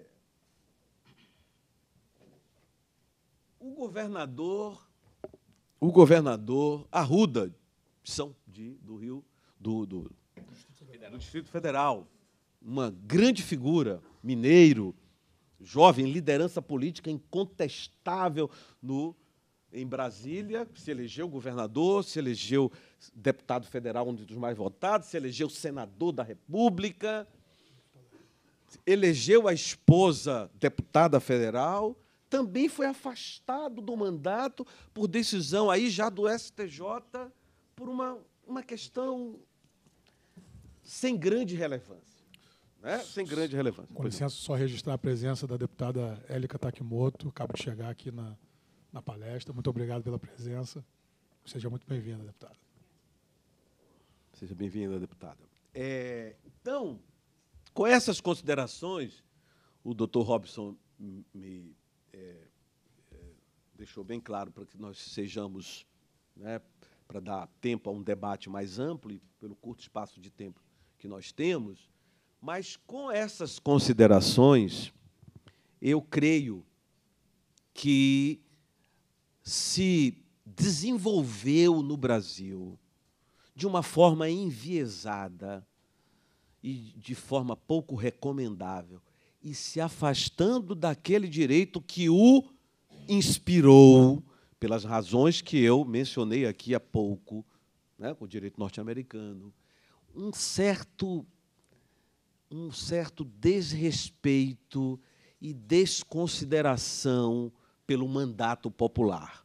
Eu não vou dizer que é uma situação das mais graves e que é uma terra arrasada, não é uma guerra civil, não se trata, mas aos poucos e por falha do próprio parlamento que cedeu a pressões por conta de eventuais é, pedidos do Supremo Tribunal Federal para processar deputado antes da emenda 35, pedidos esses que não eram atendidos, em sua maioria, isso temos que reconhecer, mas o fato de não ser atendido é elemento robusto bastante para conduzir a uma alteração da emenda, da redação original do artigo 53 e diminuir a prerrogativa do parlamento? Porque isso é, é, é, o que se quer proteger é o parlamento, não é o deputado fulano de tal. Não é a deputada Tia Ju, não é o, o presidente da Assembleia Legislativa do Estado do Rio de Janeiro, é o parlamento como instituição, é o mandato que foi otorgado. Então, a meu ver, mandou muito mal.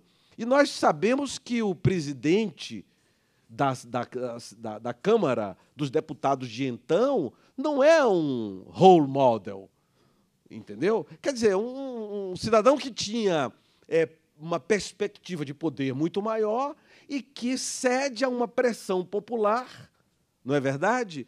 Para é, é, é, para abrir mão de prerrogativa e passar essa prerrogativa para o Supremo Tribunal Federal, que agora pode, a qualquer momento, a qualquer instante, sem a, a autorização prévia, conduzir processo contra deputado e contra senador. Então, são essas as considerações, é, doutor Robson, que eu é, me, que achei interessante trazê-la aqui para o debate. É, quero dizer que. Ah, sim, outra coisa, viu? Eu acabei de esquecer. Celso Pita foi o primeiro e o único prefeito de São Paulo afastado por decisão judicial. Nunca antes dele e nunca depois dele. Então, é um, é, eu acho que esse dado é muito importante e do que aconteceu no, no estado, na, na, na capital do estado de São Paulo naquele momento. Não nos esqueçamos também de erros numéricos, já que foi dito aqui, e eu não vou retomá-los, mas não nos esqueçamos do caso Ibsen Pinheiro. Ibsen Pinheiro foi presidente da Câmara dos Deputados no impeachment de Fernando Collor. Há alguns meses ou anos, bom, se foi ano, foi um ano e meio depois, a revista Veja, de, quando a revista Veja era o quarto poder da República, é, é, uma matéria de capa, disse que ele tinha recebido não sei quantos milhões de um deputado do, do PMDB da Bahia, que me foge o nome agora, e Ibsen Pinheiro foi levado à praça pública, ao Pelourinho, e esquartejado. E, e, e, e depois a revista disse que ah, foi um erro, um engano. Isso é fato, pesquisa é fato. Eu faço a minha parte. Todos os semestres, os meus alunos estudam Ibsen Pinheiro, os meus alunos estudam Celso Pita e os meus alunos estudam a Escola Base de São Paulo, que é para aprenderem a ter mais cuidado no trato da defesa do Estado Democrático de Direito, da defesa do princípio da inocência que parece que se perdeu nesse país. Muito obrigado, um bom dia. Meu caro amigo Souto, muito obrigado pela, pela exposição, pelas palavras. Enquanto você falava, eu estava aqui me lembrando, junto com o meu caro amigo Rodrigo Lopes, que a, a Constituição de 1891 nomeava o Brasil como Estados Unidos do Brasil. E aí Rodrigo complementou, eu falei aqui em canto de ouvido, que a bandeira do Brasil, inclusive, foi é, é, é, é gravada de uma forma diferente, relembrando é, especificamente a bandeira norte-americana. Então, por isso a razão de fazer essa análise comparada, porque a influência sobre o nosso constitucionalismo do, do direito constitucional americano é muito grande, muito embora essa herança a gente não tenha de respeitar o mandato parlamentar como a soberania do voto. É, e eu me lembrei também, você colocou muito bem, uma, uma colocação que o Rodrigo sempre faz nas nossas discussões, quando a gente discute sobre imunidade parlamentar, e aqui na Assembleia Legislativa, vez ou outra, a gente está é, com algum caso específico que enfrenta a matéria, e o Rodrigo sempre faz questão de lembrar assim: Robson, a imunidade é do parlamento e não é do parlamentar. Então, isso é um conceito básico de direito constitucional, está em todo o livro de direito constitucional, mas às vezes no dia a dia, até mesmo nós, operadores do direito, é, esquecemos dessa, dessa diferença tênue, mas muito importante. A imunidade é do parlamento. É, e para não alongar o tempo. Exatamente. É por isso que o, o, o, o, Rodrigo sempre complementa sobre o Conselho de Ética, que é a, a, a regra complementar a essa definição de imunidade do parlamento. É, o, o, o Souto traz aqui um, um ponto que eu acho que é importante, que é a autocrítica dos parlamentos, é, no sentido de que a falta de funcionamento é, incisiva do Conselho de Ética acaba abrindo um espaço é, muito grande para que outros poderes ocupam essa lacuna. Então, essa é uma questão, né, doutora Roberta, que nós do ramo jurídico sempre colocamos em nossos eventos, mas a gente entende que o foro adequado para que seja discutido e processado eventuais desvios são os conselhos de ética, mas eles precisam funcionar. Eu me lembro muito bem, agora há pouco tempo, o doutor Alckmin, que é procurador da Assembleia Legislativa do Estado de São Paulo, trouxe em números todos os casos de São Paulo que envolvia desvio parlamentar que foram punidos pelo Conselho de Ética, não houve sequer propositura de uma ação judicial. E num único caso, onde o Conselho de Ética não agiu, fiz, é, é, distribuíram uma ação judicial e o judiciário é, é promoveu, né, proferiu uma sentença e houve ali um, um, um problema envolvendo os dois poderes. É... Doutor Robson, é, só, você me permite quebrar aqui é, um minuto. É, é, só reiterar: o, o ex-presidente da Câmara dos Deputados teve um mandato cassado pelos seus pares com base em dados falsos. Isso não é pouca coisa, não. Né? Esse cidadão foi trucidado, como eu disse. Então, isso é um, é um, é um fato que acho que todo mundo deveria incorporar. Né? Perfeitamente. É, e dando sequência, eu queria passar a palavra para o nosso procurador legislativo aqui da casa, doutor Rodrigo. E para delimitar a matéria, como o nosso querido Souto tratou do artigo 53, e a gente, né, Rodrigo, tem aqui muito carinho com essa ADI que é, foi conduzida intelectualmente pelo Rodrigo. Eu assumo a Procuradoria-Geral quando esse processo já está em curso, a gente soma forças e o julgamento está é, em vias de acabar. E esse julgamento gira em torno de uma redação específica da Constituição Federal que diz assim: será de quatro anos o mandato dos deputados estaduais, aplicando-se-lhes as regras desta Constituição sobre sistema eleitoral, inviolabilidade, imunidades, remuneração, perda de mandato, licença, impedimentos e incorporação às Forças Armadas.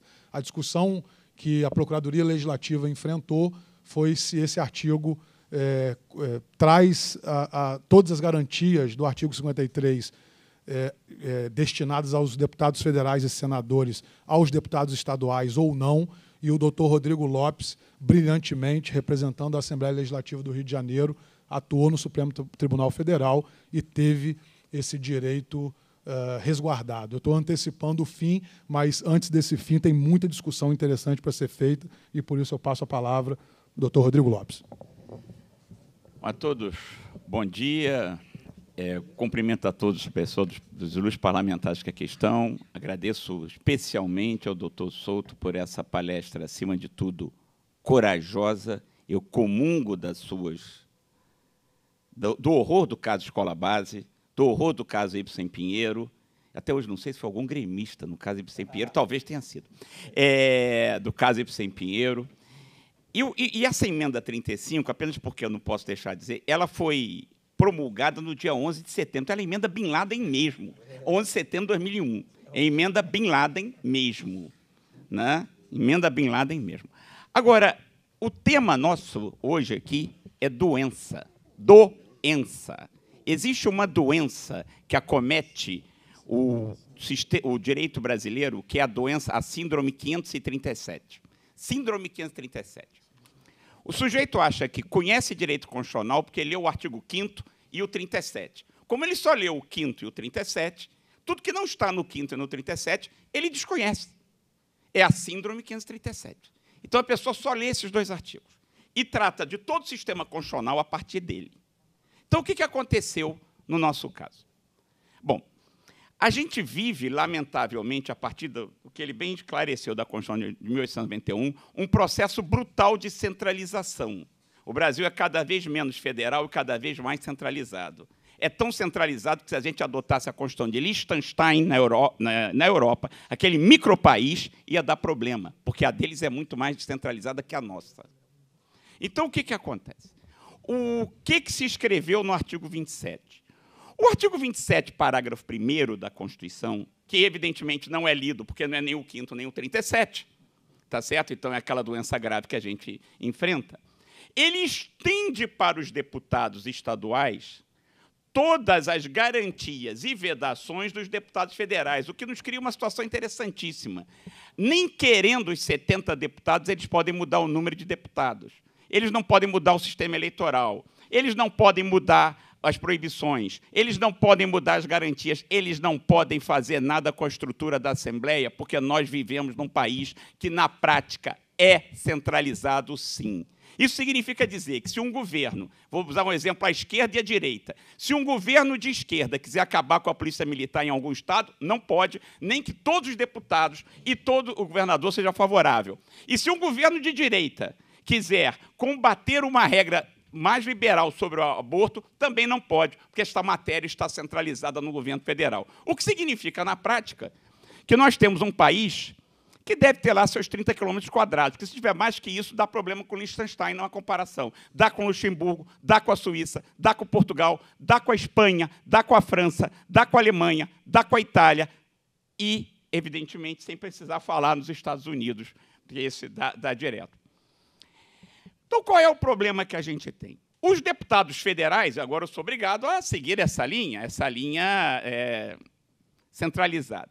Os nossos deputados federais, mesmo após a emenda Bin Laden, eles têm alguma garantia da imunidade material e da imunidade formal. O que significa imunidade material ou inviolabilidade? Significa que o parlamentar não responde por sua opinião, palavra e voto. É curioso que, se a gente for olhar o que a junta militar escreveu em 1969, a junta militar escreveu em 69 isto dizendo, ressalvando os crimes contra a honra. E o que a atual jurisprudência do Supremo procura empurrar é procura dizer que os crimes contra a honra não são, não são incluídos na imunidade. Isto é um objetivo de tirar o controle sobre o excesso parlamentar do parlamento para o judiciário. É um problema de separação de poderes. O exemplo que eu posso dar a vocês é o famoso caso deputado Mamãe Falei, um deputado de primeiro mandato de São Paulo, que num grupo de WhatsApp escreveu que as ucranianas eram fáceis porque eram pobres. Isso mostra bem que o parlamentar não tem mais liberdade de expressão que nenhum outro cidadão. Porque aí a Assembleia Legislativa de São Paulo julgou isso, considerou isto quebra de decoro e cassou o mandato dele. E ele nem sequer falou isso no parlamento. Ele falou isso num grupo de WhatsApp. Mas eu, o problema meu aqui é basicamente o seguinte: o horror não seria se a Assembleia Legislativa de São Paulo decidisse num caso ou outro. O horror seria qualquer outra pessoa tentar discutir este tema. Cabia à Assembleia Legislativa de São Paulo decidir. Os juízes competentes, que era a Assembleia Legislativa de São Paulo, decidiram e caçaram o mandato. A meu ver, ótimo. Porque consideraram que aquilo ofendia o, o, o mandato, o decoro parlamentar. Muito bem. Isso demonstra que o legislativo reage em certos casos e pode não reagir em outros, pura e simplesmente porque não considerou alguma coisa como inaceitável. A gente sempre tem que lembrar um caso básico. A primeira vez que um parlamentar foi caçado por quebra de decoro parlamentar, Barreto Pinto, PTB de São Paulo, foi porque ele se deixou fotografar de fraque, camisa e aquela velha cueca samba canção, sabe aquela antiga que ia praticamente até o joelho. Isso saiu na extinta revista O Cruzeiro, que é uma revista antiquíssima, o pessoal mais jovem não conhece, o pessoal mais idoso apenas lembra. E ele foi caçado por quebra de decoro parlamentar. Novamente, foi a Câmara dos Deputados que o fez. Ótimo, tá bom, nada contra. A imunidade parlamentar material, a liberdade para opinião, palavra e voto. Se nós admitirmos que eventual excesso seja apreciado por outro poder, isto é um problema para qualquer lado que o parlamentar tenha. Não é uma coisa boa nem para a esquerda nem para a direita, não é uma coisa boa para quem gosta ou desgosta do presidente Lula ou gosta ou desgosta do ex-presidente Bolsonaro. É uma questão contra o próprio parlamento, porque o que ela vai significar sempre é trazer para pessoas que não tiveram a, a, a legitimidade do voto a discussão se isto quebra ou não quebra o decoro. E eu torno a insistir. No caso do deputado, do ex-deputado Mamãe Falei, a Assembleia de São Paulo considerou que aquilo era quebra de decoro. Ótimo. Considerou para uma larga maioria. Precisava de 48 votos, teve 71. Acabou. Muito bem. A imunidade material, portanto, significa, ou como inviolabilidade, a impossibilidade de você processar o parlamentar por opinião, palavra e voto. Isto é muito comum em Câmara Municipal, quando o vereador vota alguma coisa e se quer processar o vereador, porque fez, porque colocou ou não colocou no orçamento tal ou qual uh, crédito. Isso é muito comum. É um problema a mais. A imunidade formal. A imunidade formal é mais conhecida. O que é imunidade formal? É a possibilidade de o parlamento impedir o processo criminal contra o parlamentar. Aqui é importante entender alguma coisa. A gente tem que lembrar do famoso caso More... Márcio Moreira Alves. Em face do governo militar, ele teve uma reação talvez infantil. Ele foi para a tribuna e disse que as mulheres não deviam, as jovens, as mulheres não deviam dançar com os militares nos bailes. Isso é uma coisa de uma infantilidade total, muito bem. O governo militar pediu a cassação do mandato do então deputado Márcio Moreira Alves, a Câmara negou, deu as cinco. Deu as cinco. O que, que a gente tem que avaliar de importante? A Câmara entendeu que o que ele tinha feito não ofendia o decoro do parlamento, ainda que pudesse eventualmente ser uma coisa indelicada. Muito bem. A gente tem que ter em mente que a, a lógica da imunidade material e da imunidade formal é uma integridade do parlamento e não do parlamentar. E, portanto, jamais pode ser renunciada pelo parlamentar. O parlamentar não tem direito a renunciar à imunidade porque não é dele, é do parlamento. Ele não tem direito a. É mero jogo, e um jogo covarde, dizer assim: abra a mão da sua imunidade, ele não pode, a imunidade é do parlamento. Ela protege o parlamento e protege a integridade do parlamento em face de ataques dos demais poderes mas nunca protege o parlamentar do próprio parlamento. Ou seja, o parlamentar está sujeito a ser trazido às barras do Conselho de Ética para se explicar por qualquer coisa que diga, e que diga no plenário, e que diga defendendo. Se ele for, é, se, ele, se este conselho, e eventualmente depois o plenário, considerar que ele agiu mal. Portanto, não há proteção do parlamentar em relação ao parlamento. Não há proteção nenhuma ele não tem, em relação ao parlamento, nenhuma proteção. A necessidade de fazer isto é a necessidade de manter a integridade do parlamento. E isto, isso tive um problema uma vez muito sério, meu caro amigo Souto, fiquei muito feliz com a sua.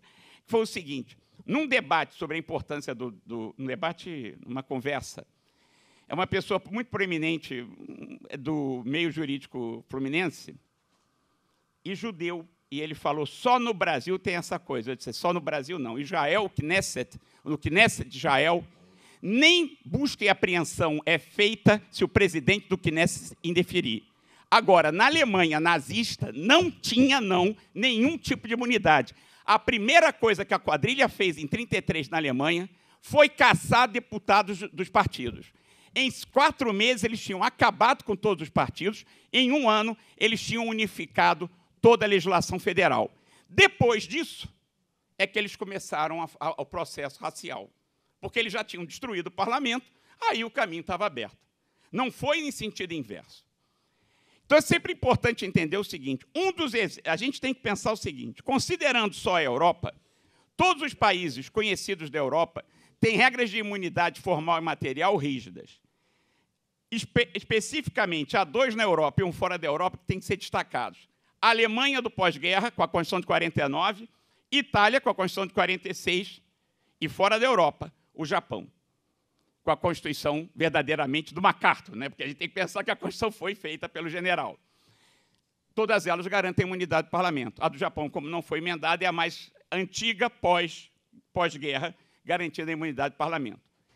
Em todos os casos, a imunidade que, que se tem, ela visa proteger, como eu sempre digo, o parlamento e nunca o parlamentar. Porque o parlamentar não tem nenhuma garantia em relação ao, ao próprio parlamento. O que, que aconteceu no nosso caso? A Constituição do Rio de Janeiro tem a regra igual. Ela copia, porque nós vivemos num país extremamente centralizado, brutalmente centralizado, copia as regras da Constituição Federal. Naquele problema terrível que assolou o, Rio de Janeiro em 2017, o que, que se fez? Atacou-se, porque a Assembleia do Rio reagiu e mandou soltar parlamentares. Atacou-se a, a regra da Constituição Estadual na chamada ADI 5824. Naquele 2017, eu tive que ir para fazer primeira sustentação oral. Depois de algum tempo, nós tivemos uma decisão favorável por seis votos a cinco. Publicado o acórdão, é, publicado o acordo, quer dizer, a decisão do tribunal, não sei quantas pessoas aqui é do meio, a Associação de Magistrados opôs embargo de declaração, opôs um recurso que existe no sistema jurídico, cuja ideia é complementar o teor do acórdão. Mas a, a, o pedido ali era girar o resultado. Aquilo foi até comentado pela deputada Tiaju, e, eu, e o Robson, nosso Robson deve lembrar, porque o jeito que eu liguei para ele na hora que eu liguei era em tom de caos. Ah, o relator de então votou pelo provimento dos embargos que teriam, portanto, efeito de transformar a, a decisão, inverter a decisão, uh, sem nem intimar a Assembleia. Seria um caso interessantíssimo de embargos de declaração com efeitos infringentes sem intimar a Assembleia. Aí nós começamos um processo de reação. É, o processo de reação, na prática, deu certo, terminou agora. Os embargos de declaração foram rejeitados por sete votos a três né, vencidos o atual presidente, o atual vice-presidente e mais um ministro. Uh, e nós conseguimos manter esta ideia. Ideia qual? Isso é curioso. A ideia de que a, as prerrogativas dos deputados estaduais são iguais às prerrogativas dos deputados federais por causa do 27, parágrafo 1. Porque nós vivemos num país que nós não podemos, nem querendo, a Assembleia poderia dar uma vantagem maior nem menor, mudar o número de deputados, aumentar as proibições. Não poderiam, era isso. Agora, o mais terrível foi ter que escutar o seguinte: na petição de quem atacou o direito à imunidade, foi dito com todas as letras que o que se pretendia ao Rio era o tal do princípio da simetria. Isso tem que ser explicado. Tem que ser explicado e a explicação não é agradável. Em primeiro lugar, ela começa assim. Quando a quadrilha tomou posse lá em janeiro de 33 da Alemanha, aquela quadrilha, eles rapidamente desenvolveram uma tese de que o, o, os estados alemães, que tinham enorme autonomia, tinham que se organizar exatamente como ah, o Estado federal. Isso tem um nome em alemão, que é grande, mas é, o nome não fala exatamente em simetria, fala em processo de equalização dos estados com a União. Bom, quando vem 67 e depois 69, a junta militar em 69 escreve o artigo 200 da Constituição da emenda 1 de 69 e diz o seguinte: o que está nesta Constituição passa a ser direito legislado dos estados, ou seja, você não precisava mais ter Constituição estadual, você olhava a Constituição Federal e adaptava. Então você fazia então a chamada, o nome surgiu, simetria.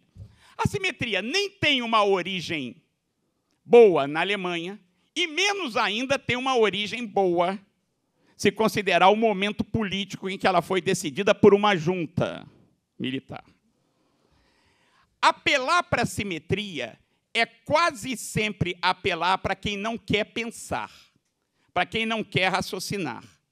E não, ela não é uma base da Constituição de 88, porque existe um argumento que mostra o tamanho do furo que essa coisa tem.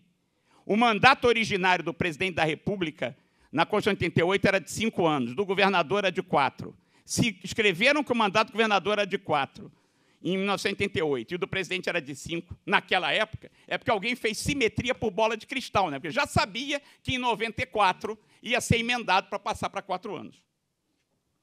Então, o que é essencial a gente entender? A ideia de simetria é uma ideia que busca exclusivamente, sem nenhuma análise, igualar o sistema federal, ao, o sistema estadual ao sistema federal. E aí, curiosamente, exatamente nesse momento, que é o caso das imunidades, deixa-se de ler a regra do artigo 27, parágrafo 1, que foi a regra utilizada pela defesa da Assembleia Legislativa e pela maioria dos, dos ministros que atuou, a, a lógica era o 27, parágrafo 1, para se dizer que não cabe simetria. Bom, em primeiro lugar, não se falou jamais em tal barbaridade. Né? Não se falou jamais tal barbaridade. Nem, primeiro, porque eu tenho uma certa dificuldade com o pessoal de 33. Segundo, porque eu também tenho uma dificuldade com o pessoal de 69. Eu tenho dificuldade com os dois. Né? É, em segundo lugar, nós não temos que ter compromisso com esta ideia. Nós temos que ter compromisso com uma Constituição que, lamentavelmente, diga-se passagem, restringe a autonomia e não permite que se veja a diferença entre São Paulo e Borá, no estado de São Paulo, que tem 900 habitantes, mas que tem que ter uma estrutura governamental igual à de São Paulo capital, é tão absurdo, mas é assim que está na Constituição. Né? Nós não, não conseguimos ver a diferença sobre como policiar o Rio de Janeiro, como policiar Macapá, como se fosse a mesma coisa, como se a realidade de um fosse igual à realidade do outro, como se o sistema educacional daqui fosse igual ao do outro, e é com isso que a gente vive nesse país. Nós vivemos nesse país com um sistema de centralização brutal e inaceitável. Mas é curioso, é brutal e inaceitável, mas na hora que serve para garantir a imunidade do parlamento, aí não pode. Aí não se lê o 27, parágrafo 1, apela-se para a síndrome 537 e afirma-se que é caso de simetria. Na melhor das hipóteses, isso é ignorância. Na melhor das hipóteses, mas talvez seja má fé. Muito obrigado.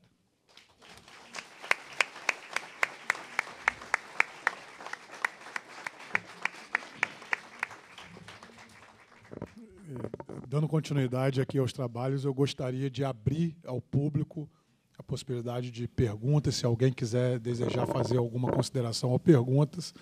Essa é a ideia do evento, para a gente fazer um breve debate e já passar para o próximo painel. É, se alguém mais quiser, por favor, levante a mão para que a gente possa é, ouvir. Tem, temos mais um lá atrás. Deputado, se o senhor puder ficar de pé, eu te peço, por gentileza. De pé eu tenho que virar para lá. Por né? favor. Bom, eu cheguei nesta casa em 2003, 1 de fevereiro de 2003, tomei posse. Eu diria que eu vivi os piores momentos que essa Casa Legislativa passou ao longo de duas décadas. Fui corregedor, fui do Conselho de Ética. E vivi né, toda essa dicotomia numa, de uma Constituição que diz, no seu primeiro parágrafo, também todos deviam ler, o primeiro parágrafo, primeiro artigo, desculpe, que nós somos a República federativa do Brasil, que é o primeiro blefe, porque nós somos a república unitária do Brasil. Mas, sendo eu engenheiro, posso ter algumas outras ousadias. Mas que os doutos que estão nos tribunais superiores, quando querem, interpretam de uma forma, quando querem, interpretam de outra. Né?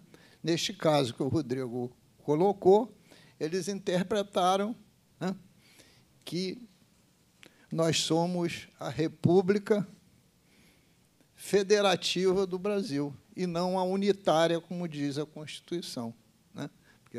Ela se reproduz os direitos da imunidade da Constituição Federal para a Constituição Estadual. E é, de fato, o parlamento a autoridade maior para caçar mandato por quebra de decoro. E só é o parlamento. Porque o decoro, por isso eu fiz aquela questãozinha, a decoro não é o deputado ofendendo XYZ. É o decoro, é quando o deputado macula o parlamento. Então, decoro pertence ao parlamento. Eu, quando fui corregedor, eu peguei um caso muito difícil de um deputado que teria, que teria quebrado o decoro antes do exercício do mandato.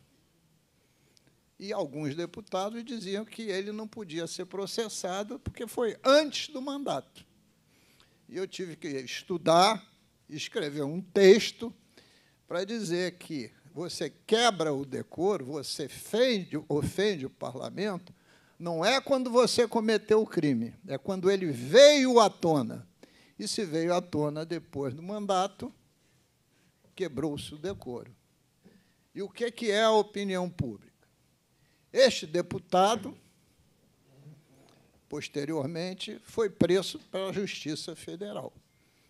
E o flagrante é que ele estava morando num local que teria sido adquirido com recursos da corrupção. Então, ali estava o flagrante. Ora, isto não é flagrante de nada. E, naquela oportunidade, eu votei, votei pela soltura, porque não tinha flagrante. E ele foi solto, foi o voto vencedor.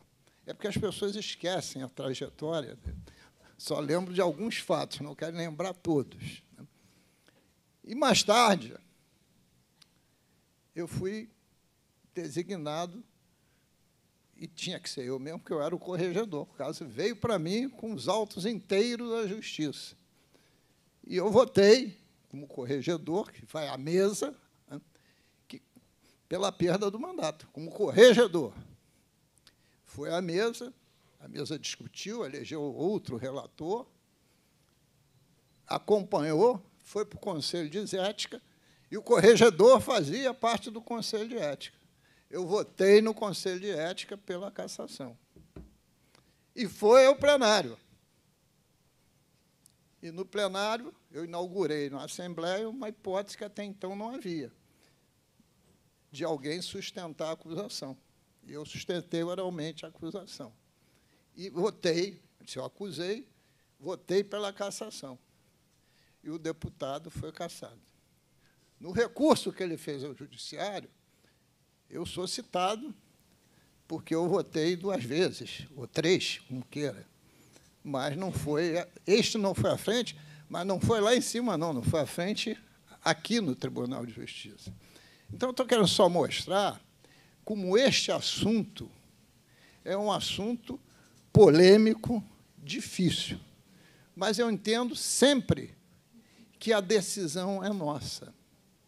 Mas nesse caso que o Rodrigo cita aqui, a decisão já chegou pronta. E chegou de quem? Do Supremo Tribunal Federal. Caberia ao parlamento recorrer. E recorreu. Né?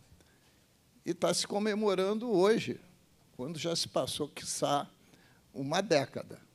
Mas, à época, tivemos que decidir sobre aquilo que estava decidido. Se mantém a prisão ou se solta. Então, estou trazendo isso à tona porque a gente também julgar os fatos duas décadas depois, com tudo que a gente passou a conhecer, é fácil. O difícil é julgar naquele momento. Né?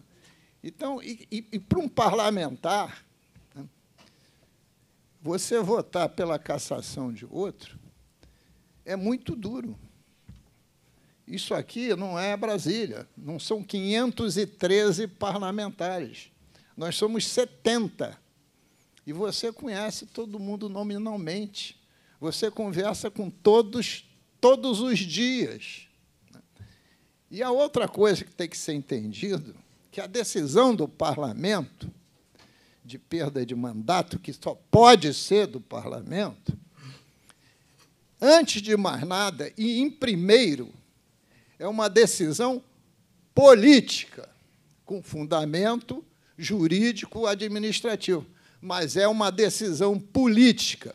Tanto é, em homenagem ao doutor João Carlos Souto, que acompanha é professor de Direito Constitucional, o Collor foi cassado e foi absolvido. Mas foi cassado porque a decisão é política. Muitas vezes, eu acompanho e fiscalizo o Poder Executivo em cima do documento mais importante que nós temos, que é respeitada a Constituição, etc., mas que é a lei orçamentária. Muitas vezes, sem nominar qualquer governador, comete crime de responsabilidade aos quilos, aos quilos, qualquer governador. Porque em cada momento tem que tomar medidas e decisões que muitas vezes arranham a Constituição, pode ser considerada improbidade, etc, etc. Né? E veja, a gente entra com pedido de impeachment? Não. Porque só há, no meu entendimento, como entrar com pedido de impeachment quando você verifica que, politicamente, além do crime de responsabilidade, o governador não tem mais estrutura política para governar.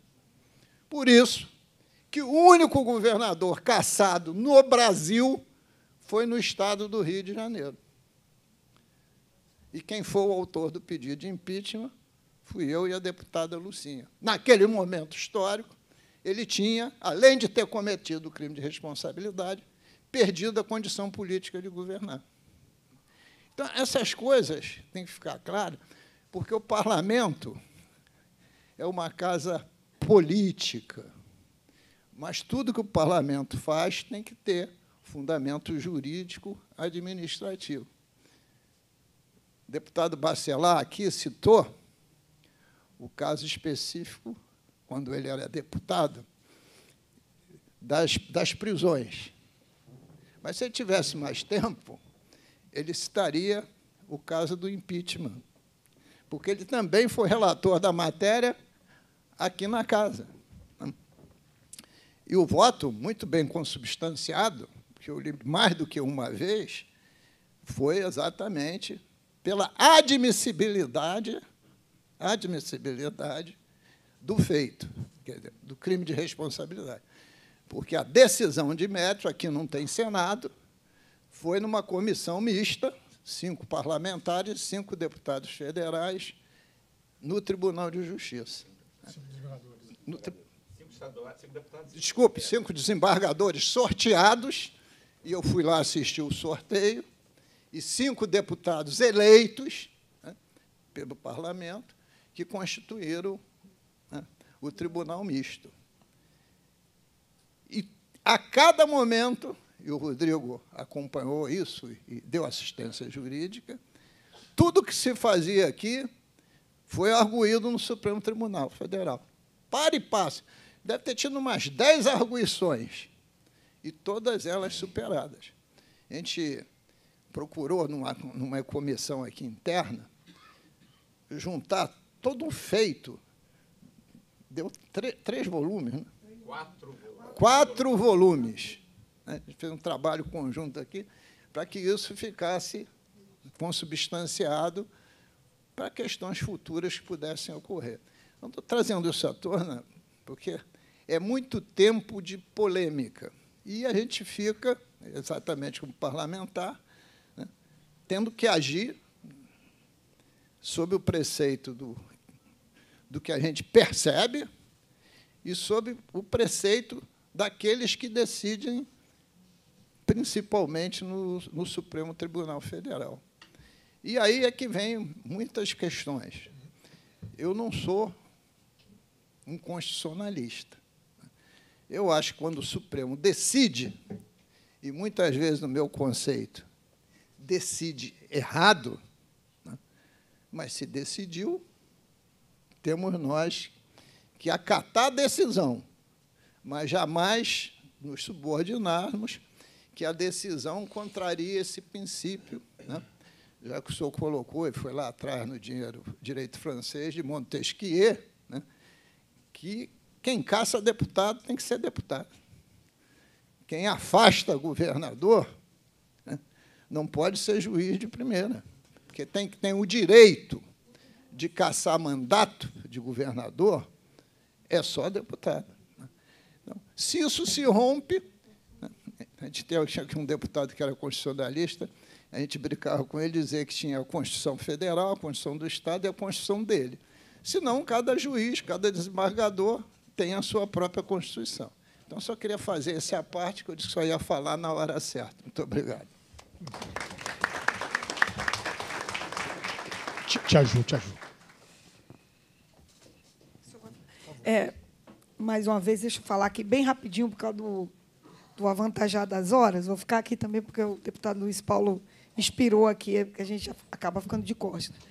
É, o que a gente tem é, observado e percebido, e aí eu trago a lembrança também, deputado Luiz Paulo, do caso do governador Pezão, que foi preso, ficou preso um ano e alguma coisa, se a esposa dele está aqui, um ano, um ano e doze dias também sem ser ouvido, e agora foi absorvido, que foi o caso dos demais parlamentares nossos aqui que foram presos e, e sem ser ouvido. O que, que ponto que eu quero chegar? É a questão a que eu não estou falando mal da imprensa. Deixa eu colocar bem como o professor colocou. Cuidado, tomando cuidado com as palavras. Criou-se um, um medo, criou-se uma cultura de medo absurda do que vai ser falado na imprensa. A gente tem vivido a era de luta e combate às fake news. Conversava aqui de orelha aqui com, com o desembargador, que é algo real. Com o advento da, das, das redes sociais e tal, tudo que a gente fala se torna mais público do que o público. Né? E esse combate das fake news é preciso ser tratado de forma geral, sem a questão, é, trazendo aqui também a questão da liberdade de imprensa. A imprensa precisa e deve ser livre, com o compromisso de informar. Uma das premissas principais da imprensa é informar de forma legítima. Infelizmente, a gente não tem visto muito isso no nosso Brasil. A imprensa tem informado, alguns meios de comunicação continuam é, fazendo valer muito isso, e eu, eu sou totalmente a favor da liberdade de imprensa, porque faz parte da democracia, mas é preciso tomar cuidado também com fake news que se divulgue. Olha o caso que o doutor trouxe aqui, que chegou a levar à morte. Uma mentira. Uma divulgação de uma inverdade. Vou até dizer assim, eu sempre falo com meu filho, eu não digo que ele está mentindo, eu digo que ele está falando uma inverdade. Então é preciso tomar cuidado com essa cultura que se criou e que tem sido perigosa, que é essa divulgação da meia-verdade ou não, da verdade apurada, porque a imprensa ela, ela é alimentada por informação, né? a contribuição dos informantes, e às vezes ela divulga sem uma, apura, uma apuração daquela realidade de fato, e acaba trazendo um dano terrível. E aí causa também uma compulsão, um sentimento na população que muitas das vezes não detém de muito entendimento e conhecimento, que é destrutivo, que foi o que fizeram com a política do nosso Brasil. É o que fizeram com a política do nosso Brasil. Satanizaram. Eu sou evangélico, eu uso muito isso, né? Satanizaram. Por conta de algumas informações, tá, esses deputados foram presos, Pezão foi preso, tal. Ah, não, inocentado. Quem viu a massa divulgando isso? E não há reparação. Também sou negra e eu vivo batendo na questão da reparação. Não houve reparação no Brasil até hoje. E a reparação não vem. O mal instalado se destrói vidas, famílias. Esses filhos não conseguem mais ir na escola, não conseguem sair às ruas, porque o que fica é aquilo que foi divulgado.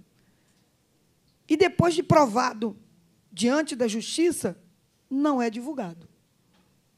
Então, a cultura do medo se instalou no nosso país.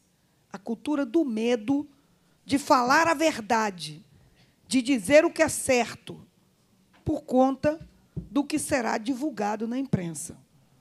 Às vezes a gente paga o preço por isso, porque a gente faz uma coisa, volta e meia a gente é vítima. Outro dia, por exemplo, já terminando, doutor, é, nós, nós aprovamos aqui colocando a Feira de São Cristóvão como patrimônio cultural material gastronômico do nosso Estado. Eu sou nordestina também. Eu tenho uma carga de preconceito em cima de mim e essa carga de preconceito me orgulha, porque eu também sou nordestina. E, e, e naquela, naquele feito, naquele momento, não deu. Os feirantes queriam é, agradecer aos assessores, aos deputados, a casa toda, pela aprovação trouxeram alguns quitutes da feira naquele dia e distribuíram. Foi divulgado que eu estava fazendo festa por algum outro motivo dentro da Assembleia Legislativa. Sabe a minha preocupação? Eu fiquei tão preocupada, fiquei tão tensa. Eu nem dei confiança e não dou, porque eu tenho minha consciência e os meus eleitores que me acompanham sabem o que eu estou fazendo. Então, tem hora que a gente precisa pagar o preço e não se curvar à ditadura do medo. Era isso que eu queria falar. É, dando sequência aos trabalhos, eu vou agradecer aos nossos dois palestrantes. Momento que eu já convido a doutora Roberta Simões e o doutor Dante Tomás para iniciarmos imediatamente o próximo painel. Próximo painel terá como tema redes sociais e imunidade parlamentar. Segunda parte de agradecimentos pela presença. Agradecer o diretor de administração geral, o senhor Sérgio Cavalcante. Agradecer também o diretor de assuntos legislativos, o senhor Felipe Moté. Agradecer o advogado doutor Rafael Madeira. Agradecer o diretor de preparo de pagamento, o senhor Edson Soares Agradecer a diretora de apoio às comissões temporárias, senhora Ellen Miranda. Agradecer o diretor do som, senhor Valdir Linhares.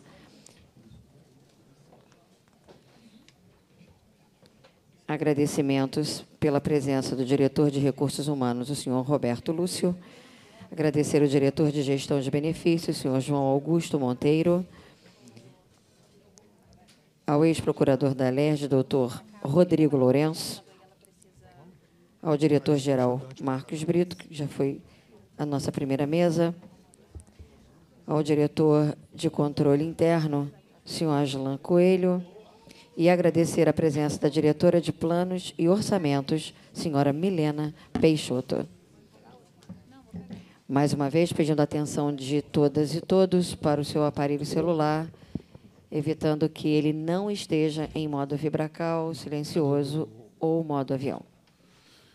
Muito obrigado. É, gente, dando continuidade aos trabalhos, eu, sem maiores delongas, passo a palavra para nossa querida Roberta Simões. Eu brevemente vou dizer que eu tive a alegria, estava falando com a doutora Roberta, de conhecer a doutora Roberta em abril, num evento que eu fui no Senado Federal, na Advocacia do Senado. Lá foi muito rápido, ela estava é, muito atarefada no dia, palestrou. Eu já adorei a exposição dela estivemos juntos recentemente em Fortaleza, num evento da Unali. Doutora Roberta é uma mulher que, é, na minha opinião, traz, é, simboliza essa, essa vitória que a participação feminina tem, não só na política, mas em todos os cenários. É uma profissional exemplar, de uma oratória incrível, e eu tenho certeza que todo mundo vai gostar muito da sua apresentação. Muito obrigado por estar aqui conosco. Muito obrigada, bom dia a todos. Me ouvem bem? Está tá funcionando isso aqui? É? Tá obrigada. Agora, agora está bem? Está bem, né? É? Foi? Está baixo ainda? Deixa eu trocar aqui. Acho que estava desligado.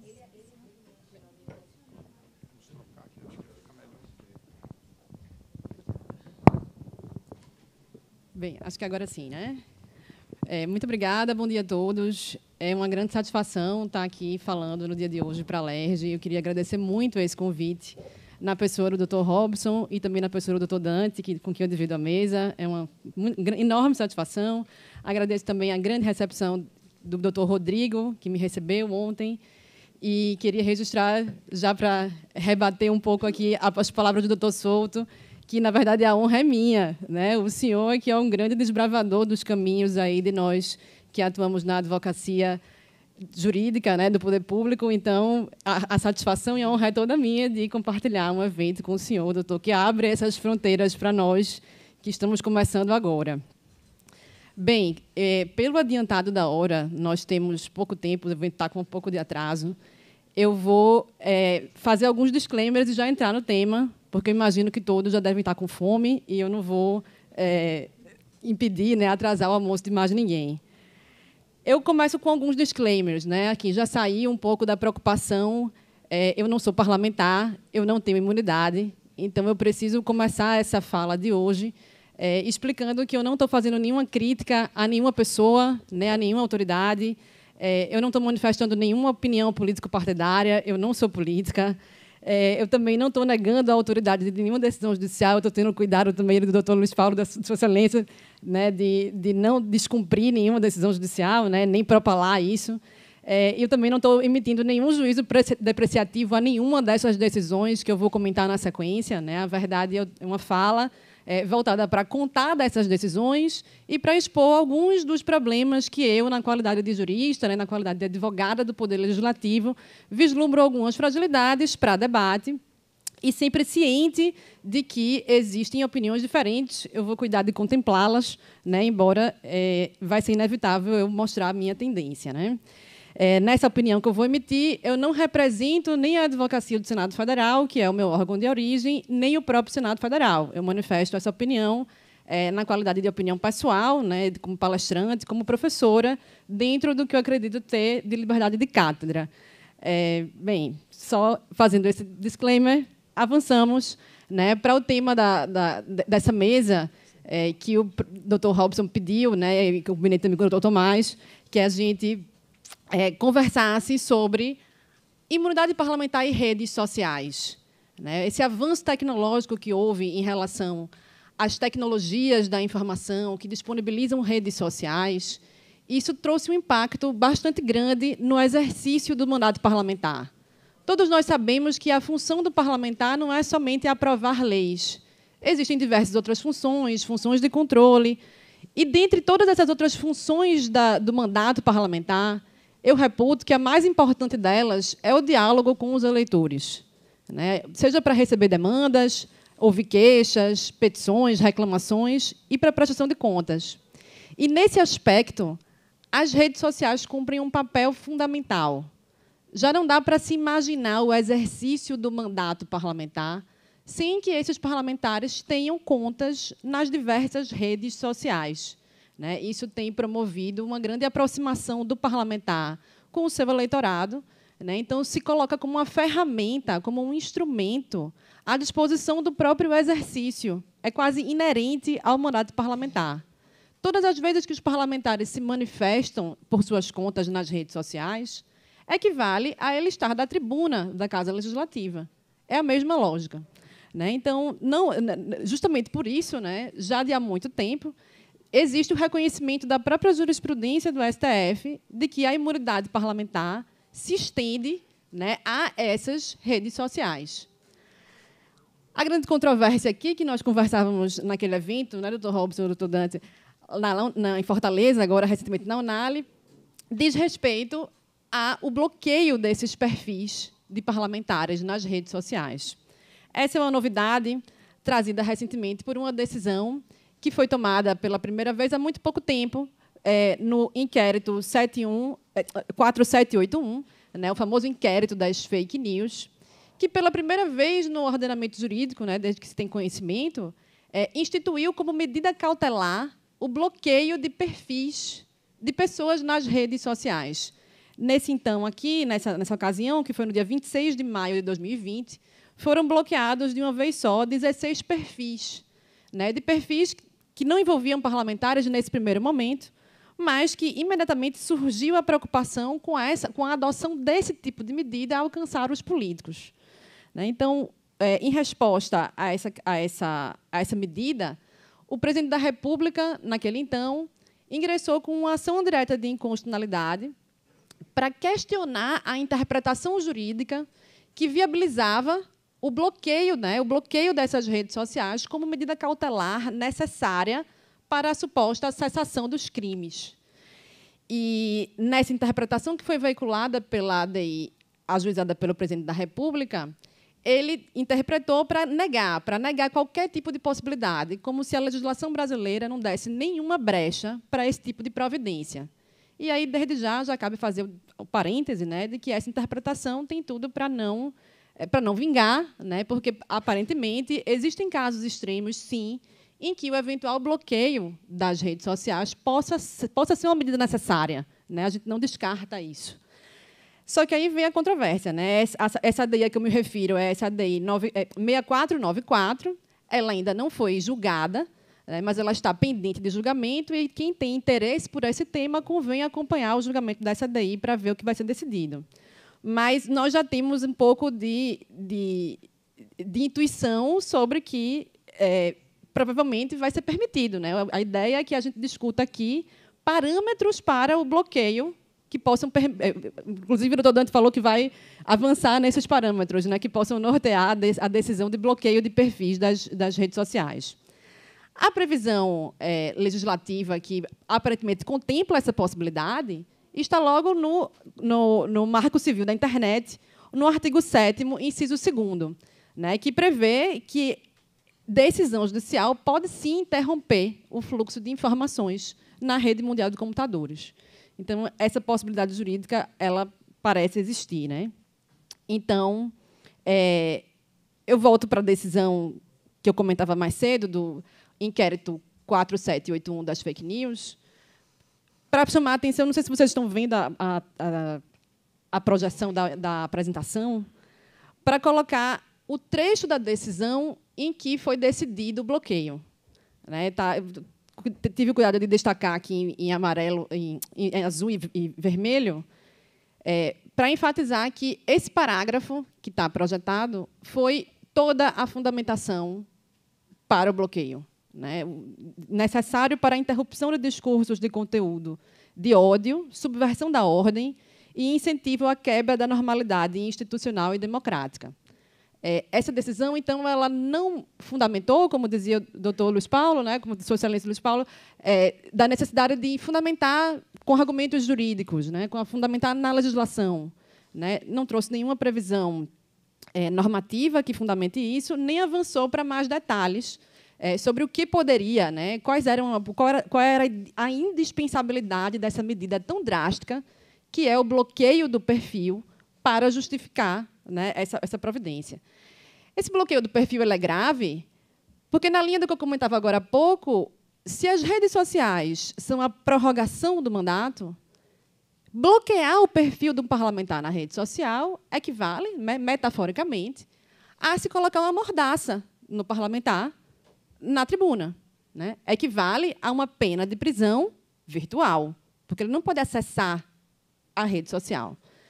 Isso é muito problemático, e então, é, toda a origem desse, dessas, dessas, desses convites que eu venho recebendo para falar sobre esse assunto vem de um artigo que eu escrevi com um colega advogado do Senado, que é o doutor Hugo Souto Calil, com quem eu tive é, o prazer né, de compartilhar esse texto, compartilhamos algumas ideias, tudo muito fruto dele, que ele é brilhante, é, talvez era ele quem devesse estar aqui falando sobre esse assunto.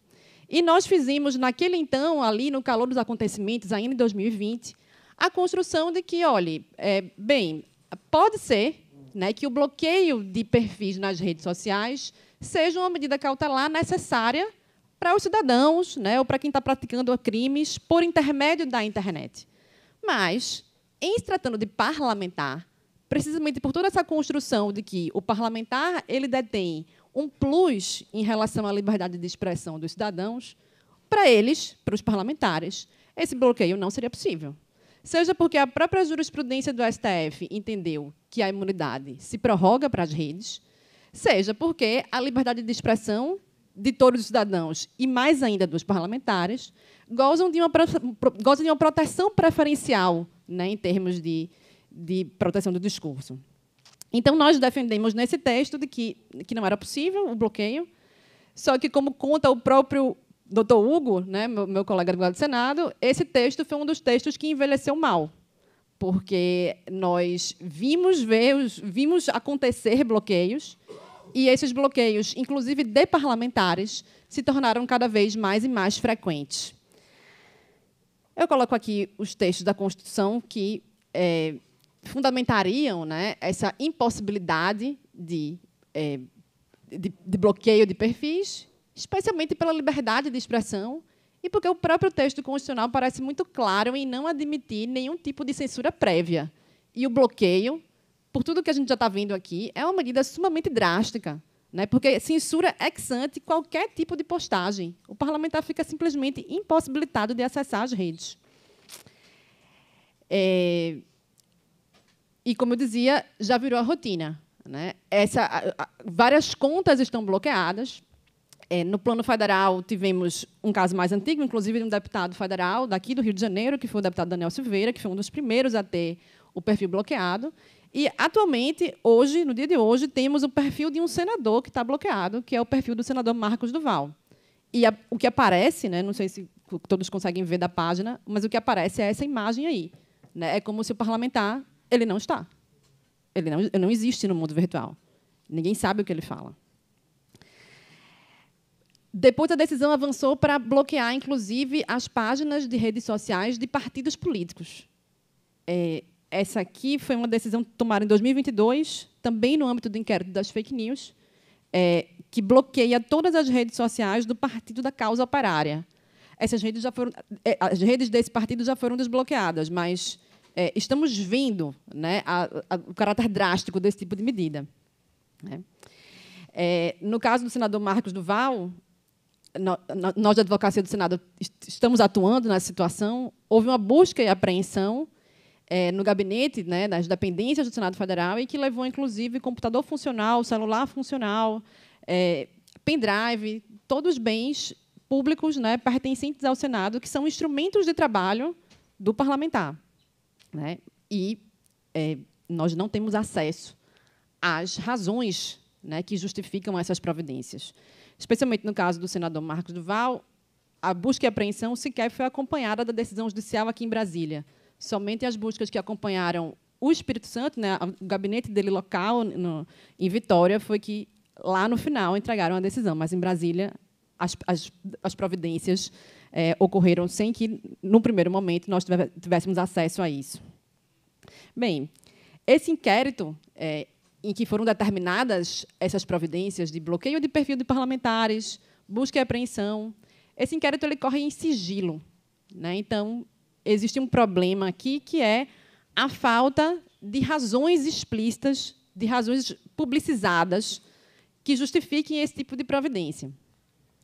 É, toda, toda, toda a fundamentação que consta, não sei se dá para ver dessa, dessa apresentação que está projetada aí, né, é duas linhas, basicamente.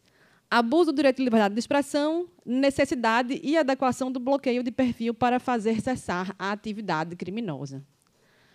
Mas, como dizia a deputada é, Tia Ju, que estava aqui há pouco tempo, né? É, o mandato parlamentar, ninguém está defendendo aqui que seja para a prática de crimes. Né? Não é um escudo protetor para irregularidades. Mas, pelo que eu já espero que já tenha ficado claro aqui, né? é um instrumento do mandato. Né? E existem providências, né? existem alternativas menos drásticas ao bloqueio de perfis das redes sociais. Né? Em primeiro momento, por exemplo, pode-se cogitar de uma ferramenta recém-lançada de sinalização de conteúdo, né, em que os usuários das redes sociais podem é, inserir contextos. Né? Essa é uma ferramenta mais recente, em que fica a postagem do parlamentar, ou de qualquer cidadão, ou de quem quer que seja, e a postagem ela vai receber comentários dos próprios usuários da rede social, que vão poder lançar é, contextualizações, correções, né? contextualizar para sinalizar que, olha, não é bem aquilo que está sendo colocado na mensagem. Essa é uma ferramenta menos drástica e que está à disposição de quaisquer usuários das redes sociais. A outra menos drástica seria a remoção da própria postagem em si. Em vez de bloquear totalmente o perfil do parlamentar, né, simplesmente retira-se aquela postagem determinada, explicitada, apontada como sendo a eventual violadora né, de ilicitudes, enfim, de, violadora de algum, alguma norma do ordenamento jurídico que tenha incorrido em crime, enfim, pontualmente. Pontualmente a remoção de conteúdos, mas não o bloqueio integral da conta do parlamentar. E, em terceiro lugar, é, entraria uma alternativa que seria, em se tratando de uma medida cautelar que pode ser legitimamente dada, né? ou seja, meu texto com o doutor Hugo já ficou obsoleto nesse aspecto, que ela, então, na medida que interfere no mandato parlamentar, que ela seja submetida à apreciação da própria Casa Legislativa. Né, o doutor Luiz Paulo, deputado Luiz Paulo né, dizia agora há pouco da importância da Casa Legislativa tomar esse tipo de decisão quando se trata de prisão. E eu diria o mesmo. Né, o ideal seria que a própria Casa Legislativa também é, deliberasse sobre esse bloqueio né? até mesmo em analogia ao que ficou decidido na ADI 5526, né, que permitiu a aplicação de cautelares diversas da prisão para os parlamentares. É, mas aí eu já preciso fazer o disclaimer né, de que, pelo menos no plano federal, também existe, é, deputado Luiz, Luiz Paulo, o certo ressabiamento, né, certo desconforto né, de que os próprios pares decidam sobre o bloqueio ou não dos perfis. Então, nem mesmo os parlamentares concordam com essa interpretação de que devam ser eles os julgadores da medida de bloqueio. Eles, eles preferem, enfim, não, não se envolver com isso. Porque eles acham que pode ser necessário mesmo o bloqueio. Enfim. Então, a interpretação que eu fiz com o doutor Hugo, em certa medida, foi um pouco mais realista que os próprios reis, né? porque não só o bloqueio se impôs como medida fática, né, e, e vem sendo aplicada, como os próprios parlamentares não querem, parecem não querer reverter isso.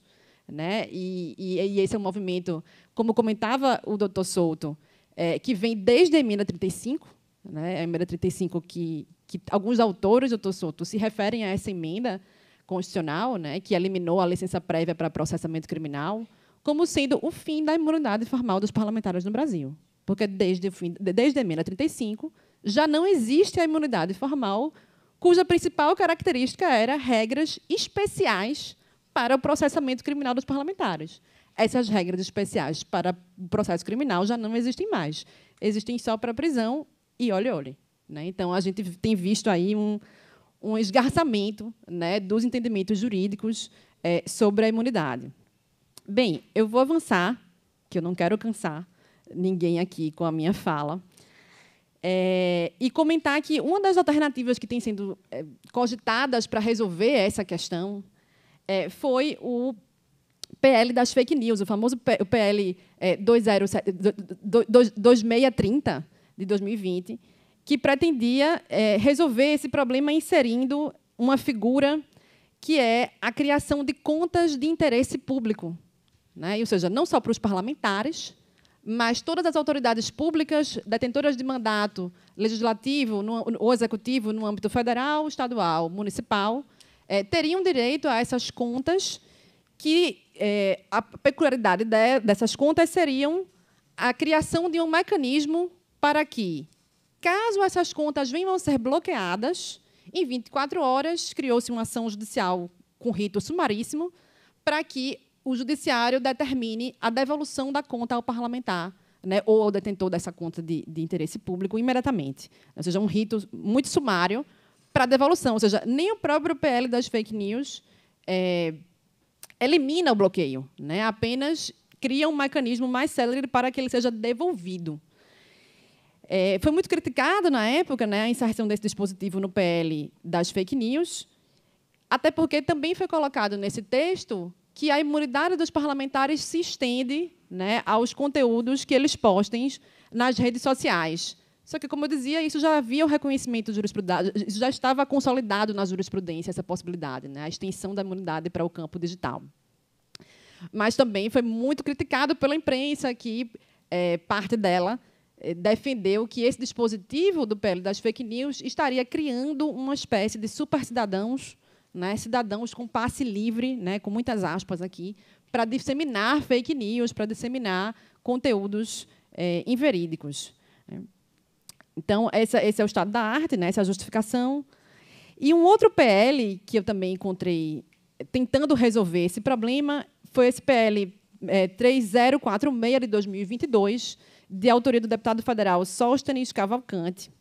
E aí, é, talvez sirva muito para o doutor Dante Tomás, é, que ele pretende é, delimitar as situações em que esse bloqueio pode existir, exigindo fundamentação robusta, né, ou seja, é necessário que quem determine bloqueio, né, que a ordem judicial que determine, explicite a fundamentabilidade, né, a fundamentação, né, a, indispensabilidade dessa providência. É, a decisão tem que conter de forma clara esse conteúdo, que está sendo considerado ilícito, né, o conteúdo que motivou a medida, o tipo penal que tá, o parlamentar está incorrendo. Né, essa decisão deve ter a participação do Ministério Público, né, então, se exige a oitiva prévia antes que o juiz possa adotar uma liminar dessas, né, uma providência dessa. E essa medida somente poderia ser tomada por maioria absoluta do STF, ou seja, não poderia ser por decisão liminar monocrática. Né? Esse PL também está em tramitação, né? ele ainda não, não foi é, aprovado, mas são debates, são questões que se colocam aí para tentar resolver esse problema. Como eu disse, para parte dos parlamentares esse bloqueio é um problema, mas para um segmento não desprezível não é. Né? Tanto que no caso, é, no caso do senador Marcos Duval, né, houve uma decisão de a mesa não entrar com as medidas para tentar desbloquear o perfil dele. Né? Se entendeu que não era o caso da mesa intervir. Então, isso é muito ilustrativo, né? isso ilustra bastante como a liberdade de expressão vem mudando um pouco. Se antes ela se, se, se antes se entendia né, que a postura do Estado devia ser de abstenção, né, hoje em dia vai, vai crescendo no senso comum e na mentalidade dos juristas em geral que é cada vez mais necessário que o Estado intervenha para restringir certos conteúdos, precisamente para proteger a liberdade de expressão. Isso é polêmico, mas é o fato já avançando aqui para ficar dentro do meu tema e falar rápido, né, é, a, a, advocacia do Senado Federal vem, tem, tem previsão regimental, né, tem previsão normativa é, nas normas da casa para atuar nesses casos em defesa da prerrogativa dos parlamentares.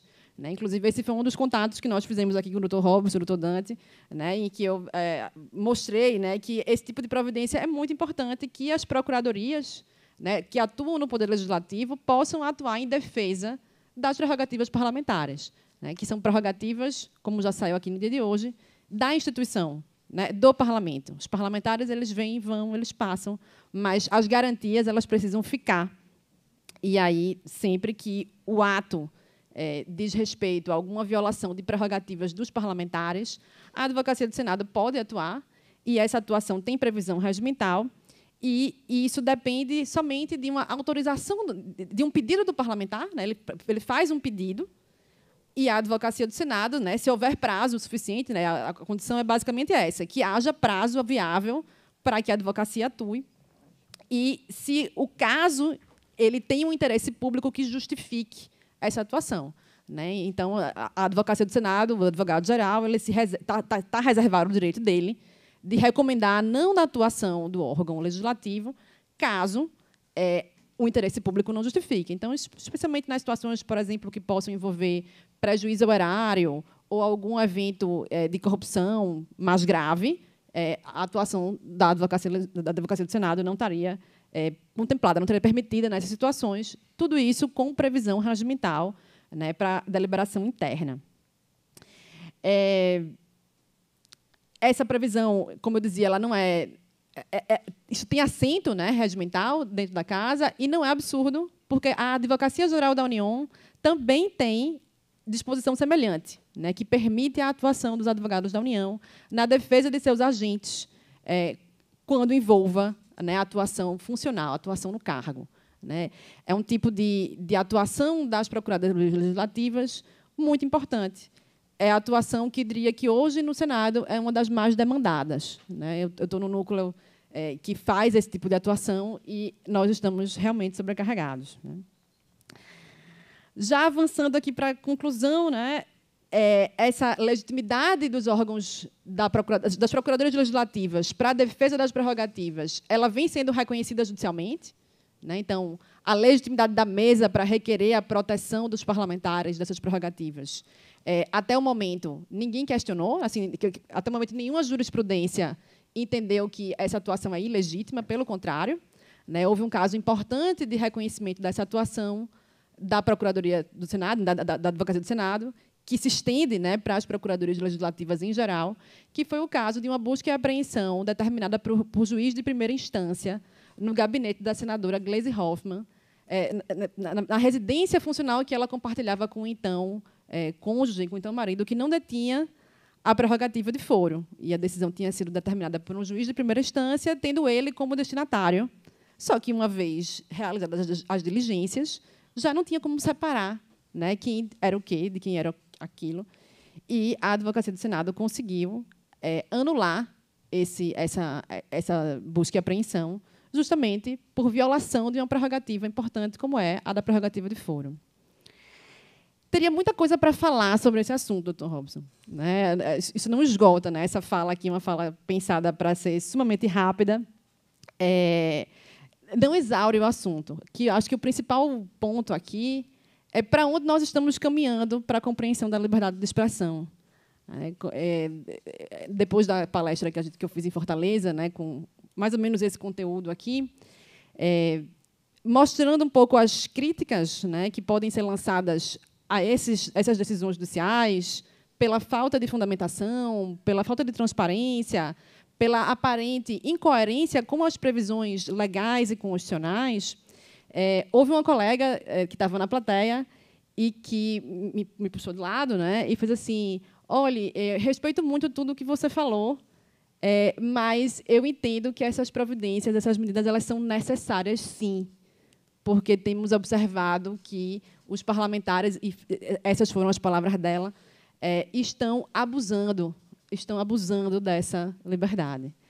Aí, claro, eu precisaria só dizer que existem mecanismos tradicionais para esse tipo de controle né, da liberdade de expressão, cujo padrão é precisamente o assunto da especialidade do Dr. Souto, né, que são os padrões da jurisprudência norte-americana, né, que tolera o discurso de ódio até o momento em que ele chega nos dois impeditivos. O Dr. Souto poderá falar disso melhor do que eu, né, que é o clear and present danger, né, que é aquela iminência de um perigo real e imediato de alguma ação criminosa, né? e as chamadas fighting words, né? que são palavras que conclamam para a ação violenta também.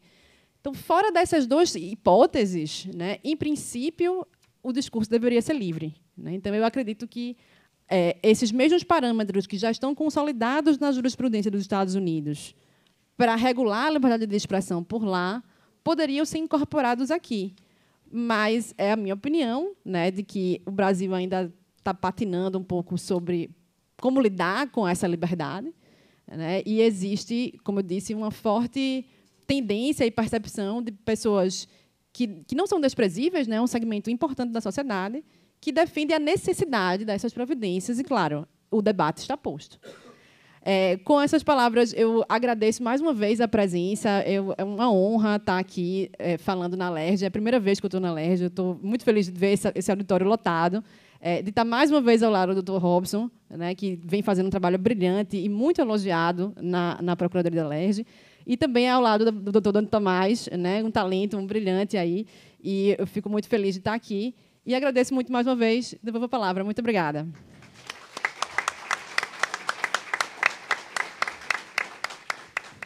Muito obrigado, doutora.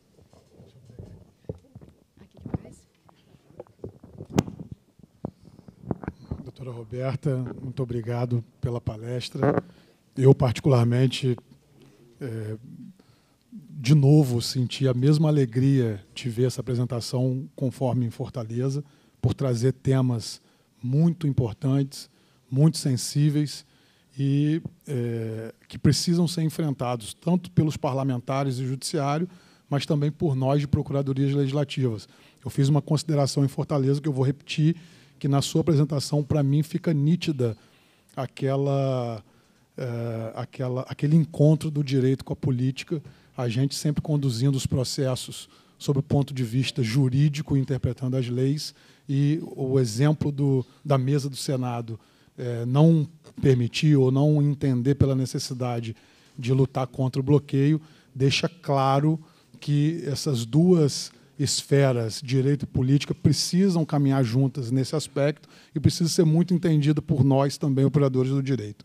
É, esse, eu acho que isso complementa a sua preocupação de para onde estamos indo, é, falar de liberdade de expressão, é, controlar é, é, discursos é uma função extremamente difícil e a reflexão que fica é justamente a, essa pergunta: para onde estamos indo? Então, sem maiores delongas, eu passo a palavra ao meu querido amigo, procurador da Alerj, Dante Tomás, nosso, é, nosso caçula, vamos assim dizer, mas que já vem desempenhando um trabalho brilhante aqui na casa. E eu tenho muita alegria de ter Vossa Excelência aqui na mesa para finalizar, vamos assim dizer, com a sua palestra. Com a palavra.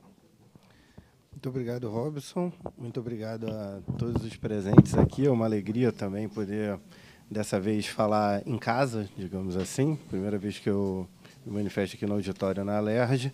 E, enfim, primeiro parabenizar, parabenizar o Dr. Robson, nosso procurador-geral, grande amigo, e também, claro, a casa por abrir esse espaço para esse tema tão importante que, enfim, que cada vez mais é urgente tratarmos desses assuntos, estabelecermos, e a LERJ, por ser um poder legislativo de expressão nacional, por meio dos seus órgãos internos, também é muito tem um papel importante em fomentar esse debate, incentivar que essas questões, ainda que haja uma jurisprudência num determinado sentido, ou uma posição majoritária em outro sentido, mas sempre é um momento de debater como as coisas deveriam ser, como podemos fazer para melhorar as situações atual e evitar, sejam que se normalizem abusos, porventura, feitos por, por parlamentares com o uso das suas imunidades, e também o que pode existir, e infelizmente às vezes existe, de abusos por parte do Poder Judiciário, que pode tomar decisões com as quais não, não necessariamente vamos concordar e que não te, teriam tanta compatibilidade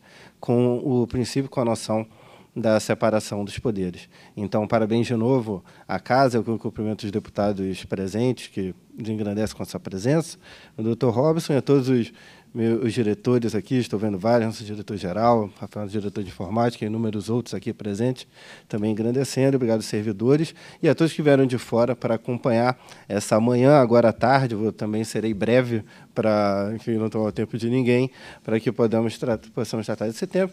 E para encerrar, claro, saudar os que me antecederam aqui na mesa, em especial a professora Roberta, que, enfim, que se o professor João disse que foi que teria sido difícil falar no mesmo evento que a doutora Roberta, imagine a minha missão que agora que vou ter que falar depois dela para encerrar o evento, mas eu prometo tentar e me esforçar para não deixar o nível cair tanto um pouco, vai ser inevitável, mas vamos tentar. O o tema das imunidades parlamentares e das redes sociais eu pensei aqui, em primeiro lugar, tratar de uma questão, o que eu entendo, como o deputado Luiz Paulo bem pontuou, que as mudanças, por exemplo, entre as decisões, que a falta de estabilidade de, né, entre as decisões do, do, dos tribunais, inclusive do Supremo Tribunal Federal, várias vezes, torna difícil que haja alguma estabilidade, uma maior estabilidade, uma maior, uma maior previsibilidade para a população e para os cidadãos, inclusive para os políticos que têm que lidar com essas mudanças, essas guinadas jurisprudenciais. Então, o, para mim parece, eu acredito que tenha ficado claro porque na palestra anterior da professora Roberta, na fala anterior da professora Roberta, que se entende de forma quase pacífica ou enfim com muita pouca resistência que há um, que o, as postagens em redes sociais, que a atuação política, a atuação política na esfera das redes sociais e nas mídias digitais também é uma extensão como uma extensão do exercício da atividade parlamentar nos meios offline, ou seja, no dia a dia, por fora das redes sociais.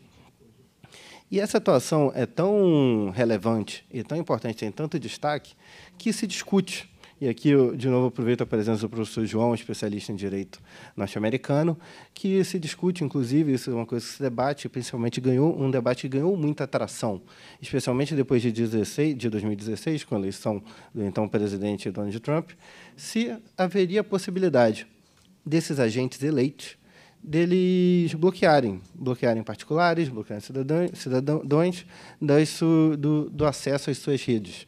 O caso era que o presidente, o então presidente Donald Trump, bloqueou algumas pessoas que o criticavam, que se manifestavam no jeito que ele não concordava, e ele bloqueava do seu perfil do Twitter. Pelo que eu, preparando essa, essa fala de hoje, eu vi que não houve, chegou a ter uma decisão da Suprema Corte, me corrija se eu estiver errado, por favor, professor João, não chegou a ter, mas em alguns tribunais, por exemplo, a segunda Corte de Apelação, que tem sede em Nova York, também a quarta Corte de Apelação, que é o, o, circuito, o quarto circuito, como também se chama, chegou a decidir que não haveria essa possibilidade desses bloqueios. Então, que as redes sociais de agentes políticos, de representantes populares, seriam também um, um espaço público, um fórum público de debate, em que deveria tanto ser utilizado para esses agentes eleitos poderem prestar conta de seus mandatos, prestar informações sobre o seu exercício, quanto também ouvir e receber críticas e feedbacks e, enfim, comentários da população de uma, de uma maneira geral. Ah, mas essa é uma discussão que não se coloca aqui, aqui a gente discutindo outras coisas, mas não, também aqui no Brasil essa é uma discussão que existe e que já esteve mais na ordem do dia, mas que eu entendo muito importante, porque na questão de bloqueio, como vou expor em poucos minutos, porque também, é, se o parlamentar não teria nem essa possibilidade de, na sua própria rede, se o parlamentar é o agente político no Estado presidente, de bloquear determinadas pessoas, com mais razão ainda, eu entendo que haver, deveria haver uma deferência por esse espaço reconhecidamente um fórum público, um espaço de debate entre a sociedade e os seus representantes e os seus representantes eleitos. E esse debate chegou no Brasil no governo anterior, o então presidente também bloqueou alguns usuários dessas redes sociais e a questão foi levada ao Supremo Tribunal Federal em dois mandados de segurança, pelo, pelo que eu encontrei, mandado de segurança 37732, de relatoria do ministro Marco Aurélio, e o mandado de segurança 36666, de relatoria da ministra Carmen Lúcia nesses, nesses dois processos, nesses dois mandados de segurança, interpostos, impetrados por cidadãos contra esses atos de bloqueio pelos, por esses agentes eleitos, os relatores, o então ministro Marco Aurélio e a ainda ministra Carmen Lúcia, votaram de forma contrária à possibilidade de, de bloqueio, entendendo, na linha com esses precedentes do direito, do direito norte-americano, que é uma grande influência no nosso direito, como, foi, como vimos há pouco, na, na fala do professor João, que haveria que é, sim um espaço público, que é sim um espaço em que é exercido o mandato parlamentar e que nessa realidade não poderia ocorrer esse bloqueio. Por um... É, eu gostaria apenas de registrar a presença do deputado Chico Machado, nosso corregedor-geral da Casa, uma honra ter Vossa Excelência aqui no, no nosso evento. Seja muito bem-vindo. Nos alegra muito a sua presença. Muito obrigado. Alegria nossa de ter poder conversar e trocar ideias e a presença do deputado Chico Machado aqui conosco. O, e, mas por um dever de, de lealdade ainda nesse tema, é preciso dizer que essa não é uma posição unânime ou consolidada, porque também existe o voto, esse agora do ministro Nunes Marques, em uma de segurança 37897, se a minha memória não estiver me, me, enganando, em que ele votou que haveria possibilidade, inclusive, do foi um MS, de um bloqueio realizado pelo presidente do Senado, o senador Rodrigo Pacheco, que bloqueou alguns, algum, alguns cidadãos que, que não gostaram de ser bloqueados, se socorreram do Poder Judiciário para tentar ser desbloqueados nessa, nessa hipótese. Então, esse é um. E essa questão de se vedar o bloqueio de, pelos políticos de pessoas que, que podem estar fazendo hate, xingando, ou se comportando de forma pouco urbana, se essa posição for a prevalecente aqui no Brasil como foi, foi nessas duas cortes federais dos Estados Unidos, apesar de ainda não ter manifestação da Suprema Corte, com ainda mais, com ainda mais vigor, reforçaria a posição de que não, deveria, não deveriam ocorrer, ainda que em casos excepcionais, mas há um, sempre um risco de, em excepcionalidade a excepcionalidade, ir se normalizando o que era para ser excepcional. Então, esse é um cuidado que precisamos ter e, por exemplo, o PL, o PL demonstrado lá, que fixa aqueles requisitos, seria muito bem-vindo nesse ponto, para controlar e para respeitar esse espaço e essa esfera, de, esse fórum de deliberação pública.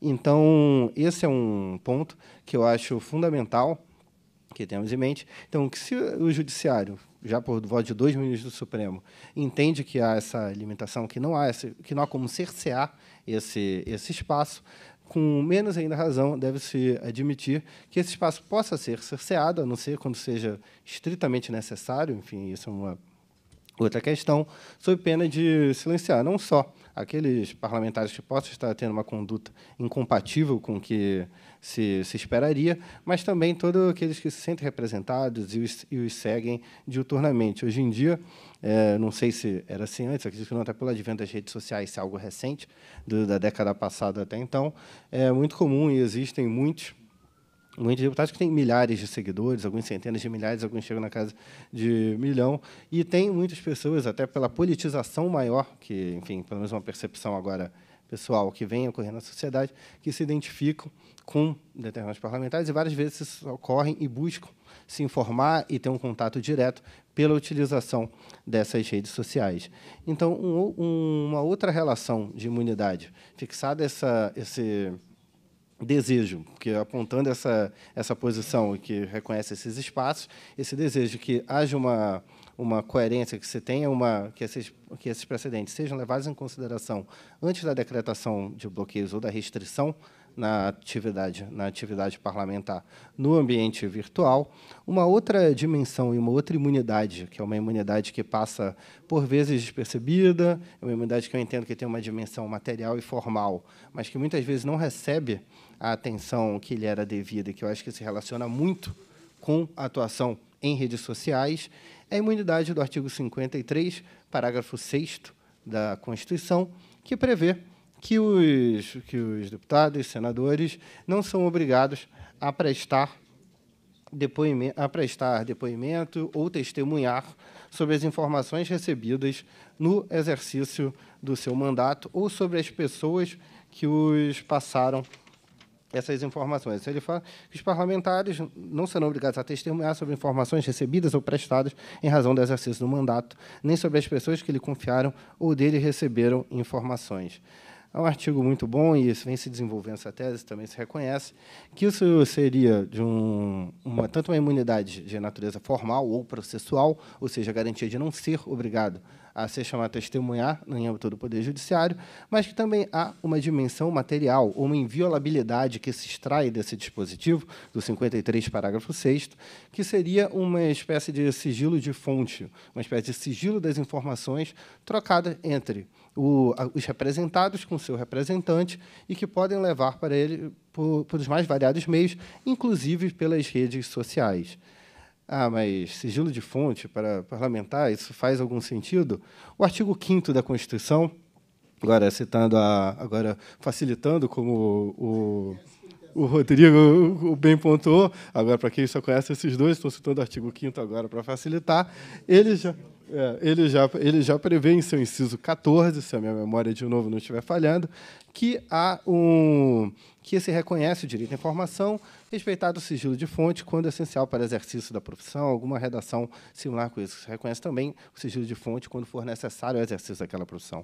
Então, apesar de associarmos intuitivamente o sigilo de fonte apenas com os jornalismos ou com as, os veículos de imprensa, outras profissões também têm esse sigilo resguardado. Por exemplo, os advogados têm direito ao sigilo da sua comunicação advogado-cliente e os parlamentares, eu entendo que esse artigo 53, parágrafo 6 também assegura esse respeito, esse dever, essa inviolabilidade, que é também uma imunidade, uma espécie de imunidade, de que as comunicações entre os parlamentares e os seus representados devem ser respeitadas e acobertadas pelo sigilo e devem ser respeitadas.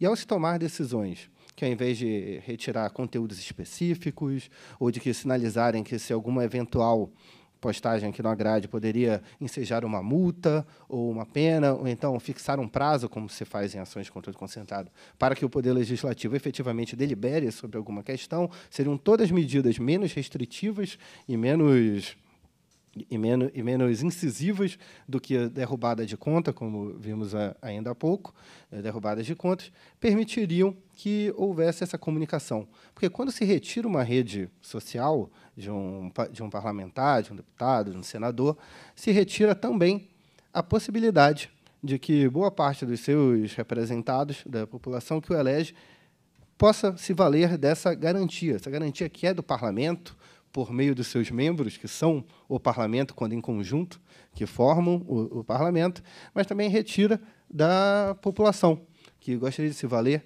que, e entrar em contato com esses deputados, e várias vezes não tem como vir até aqui a sede da LERJ, ou ir como até Brasília, no Congresso Nacional, e o meio que ela tem para levar essas denúncias para levar essas recomendações, para expressar o seu desejo de, de, atuação política, do que ela gostaria de ver como uma doação política, daquele representante que ela escolheu, são as redes sociais.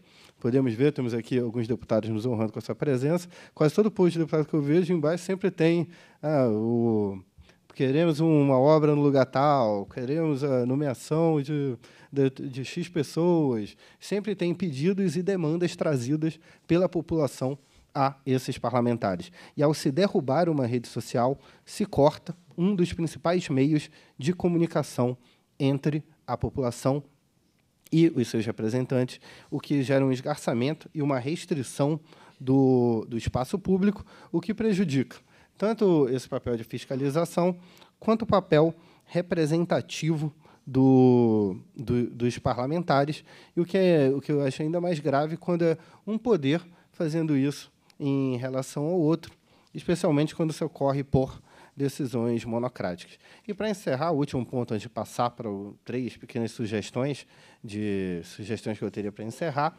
é que as redes sociais também temos que pensar nelas. Elas não são apenas o Twitter, que foi muito citado, o Instagram, o TikTok, ou enfim, algumas outras redes que eu que o, as pessoas mais jovens, talvez os estagiários da Procuradoria saibam, mas enfim, que já deve ter aí bombando e agora eu não estou sabendo. Então, o que pode ser usado. E também, também aplicativos de mensagens instantâneas são redes sociais em que esse sigilo deveria ser respeitado. Então, isso vale, inclusive, para se evitar devassas generalizadas ou expressões sem limites em aparelhos de celular, em aplicativos como WhatsApp, o Telegram e outros que servem a esse fim, sob o risco de colocar essa importante imunidade dos parlamentares, que é a imunidade de não testemunhar, de não prestar informações sobre os fatos que ele tem conhecimento em virtude do exercício do seu mandato e, e, e aprova e perder essa, essa, essa, esse, essa garantia. E, e isso, e, e se parar para você, isso não é nem tão novo ou inédito. Enfim, alguns o deputado Luiz Paulo disse que está no seu oitavo mandato, 20 anos aqui na casa, enfim, uma atuação política muito longa, mas é possível imaginar e, enfim, que, por exemplo, antes da, do advento de redes sociais, internet, chegassem denúncias e questões para deputados, às vezes por meios anônimos, então cartas ou mensagens, seja em, em residência ou nos gabinetes dos parlamentares, e isso sempre pôde depois ser averiguado, ou levado ou tomado em conta pelos parlamentares. Então, quando se fala, ah, mas é um é um usuário com a foto do Homem-Aranha no Twitter falando para o deputado tal que aconteceu alguma coisa ilegal. Às vezes é alguém que tem uma legítima preocupação, pode ser com a sua segurança, com a sua carreira e se utiliza desses meios ainda que de forma que ainda que usando um pseudônimo, também de forma anônima, para levar essas informações. Então, a derrubada de redes sociais me parece que é um problemático também por essa dimensão. E agora chegando na parte final, algum algumas sugestões de caminho possíveis. Então, dois caminhos eu acho que poderiam servir para guiar essas, essas decisões seria, em primeiro lugar, fazer o que a professora Roberta bem pontuou, que seriam retirar conteúdos específicos. Ah, mas como você vai retirar? Você pode postar novos conteúdos. A opção seria manter essas contas, permitir que eles continuem recebendo informações, que as pessoas se manifestem nos, nas suas postagens já existentes, por exemplo, e sem retirar essa memória, digamos assim, essa memória da atividade parlamentar e essa memória do parlamento. Então, ao invés de um controle prévio, de um controle prévio de conteúdo, se focar e dirigir seus esforços para um, controle posterior de postagens que já foram feitas. Essa seria a primeira medida que eu acredito que ajudaria, auxiliaria muito a solucionar essa posição. A segunda, da, a segunda cautela seria, em, em, último caso, tomar medidas que existem já em redes sociais, que são, por exemplo, limitação de conteúdo. Então, o próprio Instagram ele tem mecanismos que ele consegue, por exemplo, proibir determinados usuários de realizarem vídeos, ou que diminuem o seu alcance, ou proíbem novas postagens, e poderiam ser tomadas decisões nesse sentido, para não precisar chegar nessa medida, nessa medida drástica. E o último, e último ponto que eu acredito, e isso agora pegando o gancho também dos projetos de lei, também é uma proposta de emenda à Constituição, que agora me falha o, a memória do, do número, se não me engano, 40 de 2021, mas não tenho certeza, o, o que é que é realmente tentar como a nossa Constituição já é tão grande, eu acho que mais um, um, um, dispositivo, mais uma emenda, mais uma, menos uma, não mudaria tanto, e criar algum, algumas exigências procedimentais para que essas análises, para que essas retiradas sejam feitas de forma mais cuidadosa. Então, por exemplo, aqui temos a honra também de ter a presença do desembargador Alan, TRE. Então, temos a experiência bem sucedida da Justiça Eleitoral, em que a agilidade nas respostas. Então, quando tem um, um direito de resposta, quando tem alguma coisa abusiva que ultrapassa os limites do debate lícito e saudável no, no, na disputa político-eleitoral, há essa resposta rápida e célere da justiça. Por que não, diante dessa nova realidade, não se prever meios, não se prever especializações judiciais para dar respostas rápidas e retirar rapidamente e demandar questões que questões que resolvam essas situações sem precisar chegar nesse limite. Então seria esse, esses os pontos que eu gostei que eu gostaria de explorar hoje. Agradeço mais uma vez a paciência de todo mundo que ficou aqui até o final e que avançamos um pouco da hora. Espero que tenha sido proveitoso e agradeço novamente o Dr. Robson pelo convite. Muito obrigado.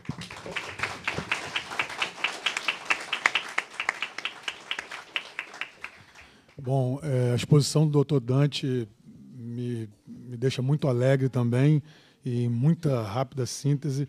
Eu acho que são duas exposições que se complementam. A doutora Roberta traz é, o bloqueio das redes sociais de parlamentares. O doutor Dante traz uma discussão do bloqueio de usuários por parlamentares. E eu acho que essa, essa, essa comunhão de, de, de apresentações que se complementam traz uma pergunta que fica, talvez, para uma próxima o próximo encontro. O que são as redes sociais dos parlamentares? Muito embora a gente tenha na jurisprudência um reconhecimento, mas eu acho que é aí que está o ponto nodal dessa discussão de se estabelecer um reconhecimento firme e específico do que realmente são essas redes sociais é, dos parlamentares, e ao que me parece a resposta está mais do que clara, mas a gente precisa de segurança jurídica para defender isso. Com essas palavras, eu quero agradecer muito de coração a todo mundo que permaneceu aqui até agora, a todo mundo que passou por aqui durante essa manhã. É, é uma alegria muito grande para nós da Procuradoria Legislativa fazer, é, realizar esse seminário, um seminário que toca o trabalho de todos nós, do nosso dia a dia, de casos e processos que a gente analisa, discute, enfrenta. É, e isso é muito gratificante poder compartilhar com todos vocês, porque vocês sim são a, o verdadeiro motivo da gente realizar isso. Esse público que comparece, que permanece aqui. A gente poder dividir esse conhecimento é maravilhoso para quem está sentado aqui na frente. Então, o meu agradecimento especial para cada um que veio até aqui hoje e especialmente para quem permaneceu aqui. Eu gostaria aproveitando também nos agradecimentos finais, agradecer ao nosso diretor-geral, Marco Brito, um parceiro, um ser humano, como foi colocado por Tia Ju, calmo, é, paciente e que abraçou essa causa desde o início, não só ele, mas toda a sua equipe, que nos abraçou lá embaixo, ali no 26, para tomar decisão de cada ponto. De cada ponto. Agradecer ao cerimonial da casa, na pessoa da subdiretora Aline, que também está aqui com toda a sua equipe colaborando até agora. Ontem estavam lá trabalhando é, em vários eventos, né, especialmente em um que eu saí às 10 da noite do Palácio Tiradentes, e estão aqui hoje sem medir esforços para contribuir conosco. Agradecer a comunicação social, outro departamento incrível que nos apoia rotineiramente na Procuradoria, na pessoa do diretor Alexandre Bastos, da minha querida amiga Dani Abreu e toda a sua equipe, sempre nos atendendo, nos, nos recebendo de bom grado. Agradecer especialmente também ao deputado Luiz Paulo, eu não canso de dizer, o deputado Luiz Paulo é para todos nós um professor aqui dentro da casa. É, eu, com muito respeito, vou dizer que já divergimos algumas vezes em algumas matérias, mas a gente tem uma amizade, um respeito e um carinho muito grande é, um pelo outro. E ter a sua presença aqui, deputado, é muito, muito engrandecedor para todos nós.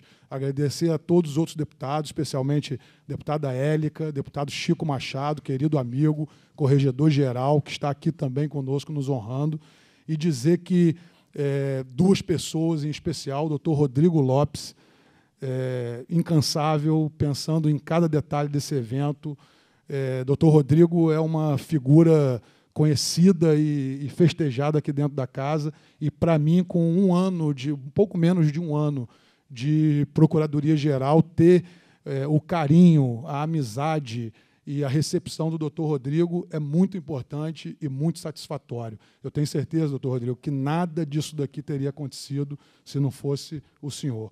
E doutor Dante, eu acho que fica até complementar, né, porque Dante é o é o nosso caçula aqui da casa, da Procuradoria, também um parceiro, um amigo querido, que não mediu esforços, a todo momento pronto para ajudar, pronto para fazer o convite à nossa, nossa querida Roberta. E, e é isso, aqui fica a nossa sensação de dever cumprido, de trabalho em equipe. Nada daqui foi feito por uma pessoa só. Esse é um trabalho conjunto, maravilhoso, onde eu tenho certeza que a gente deixa plantada uma semente para muitos outros eventos. Muito, muito obrigado.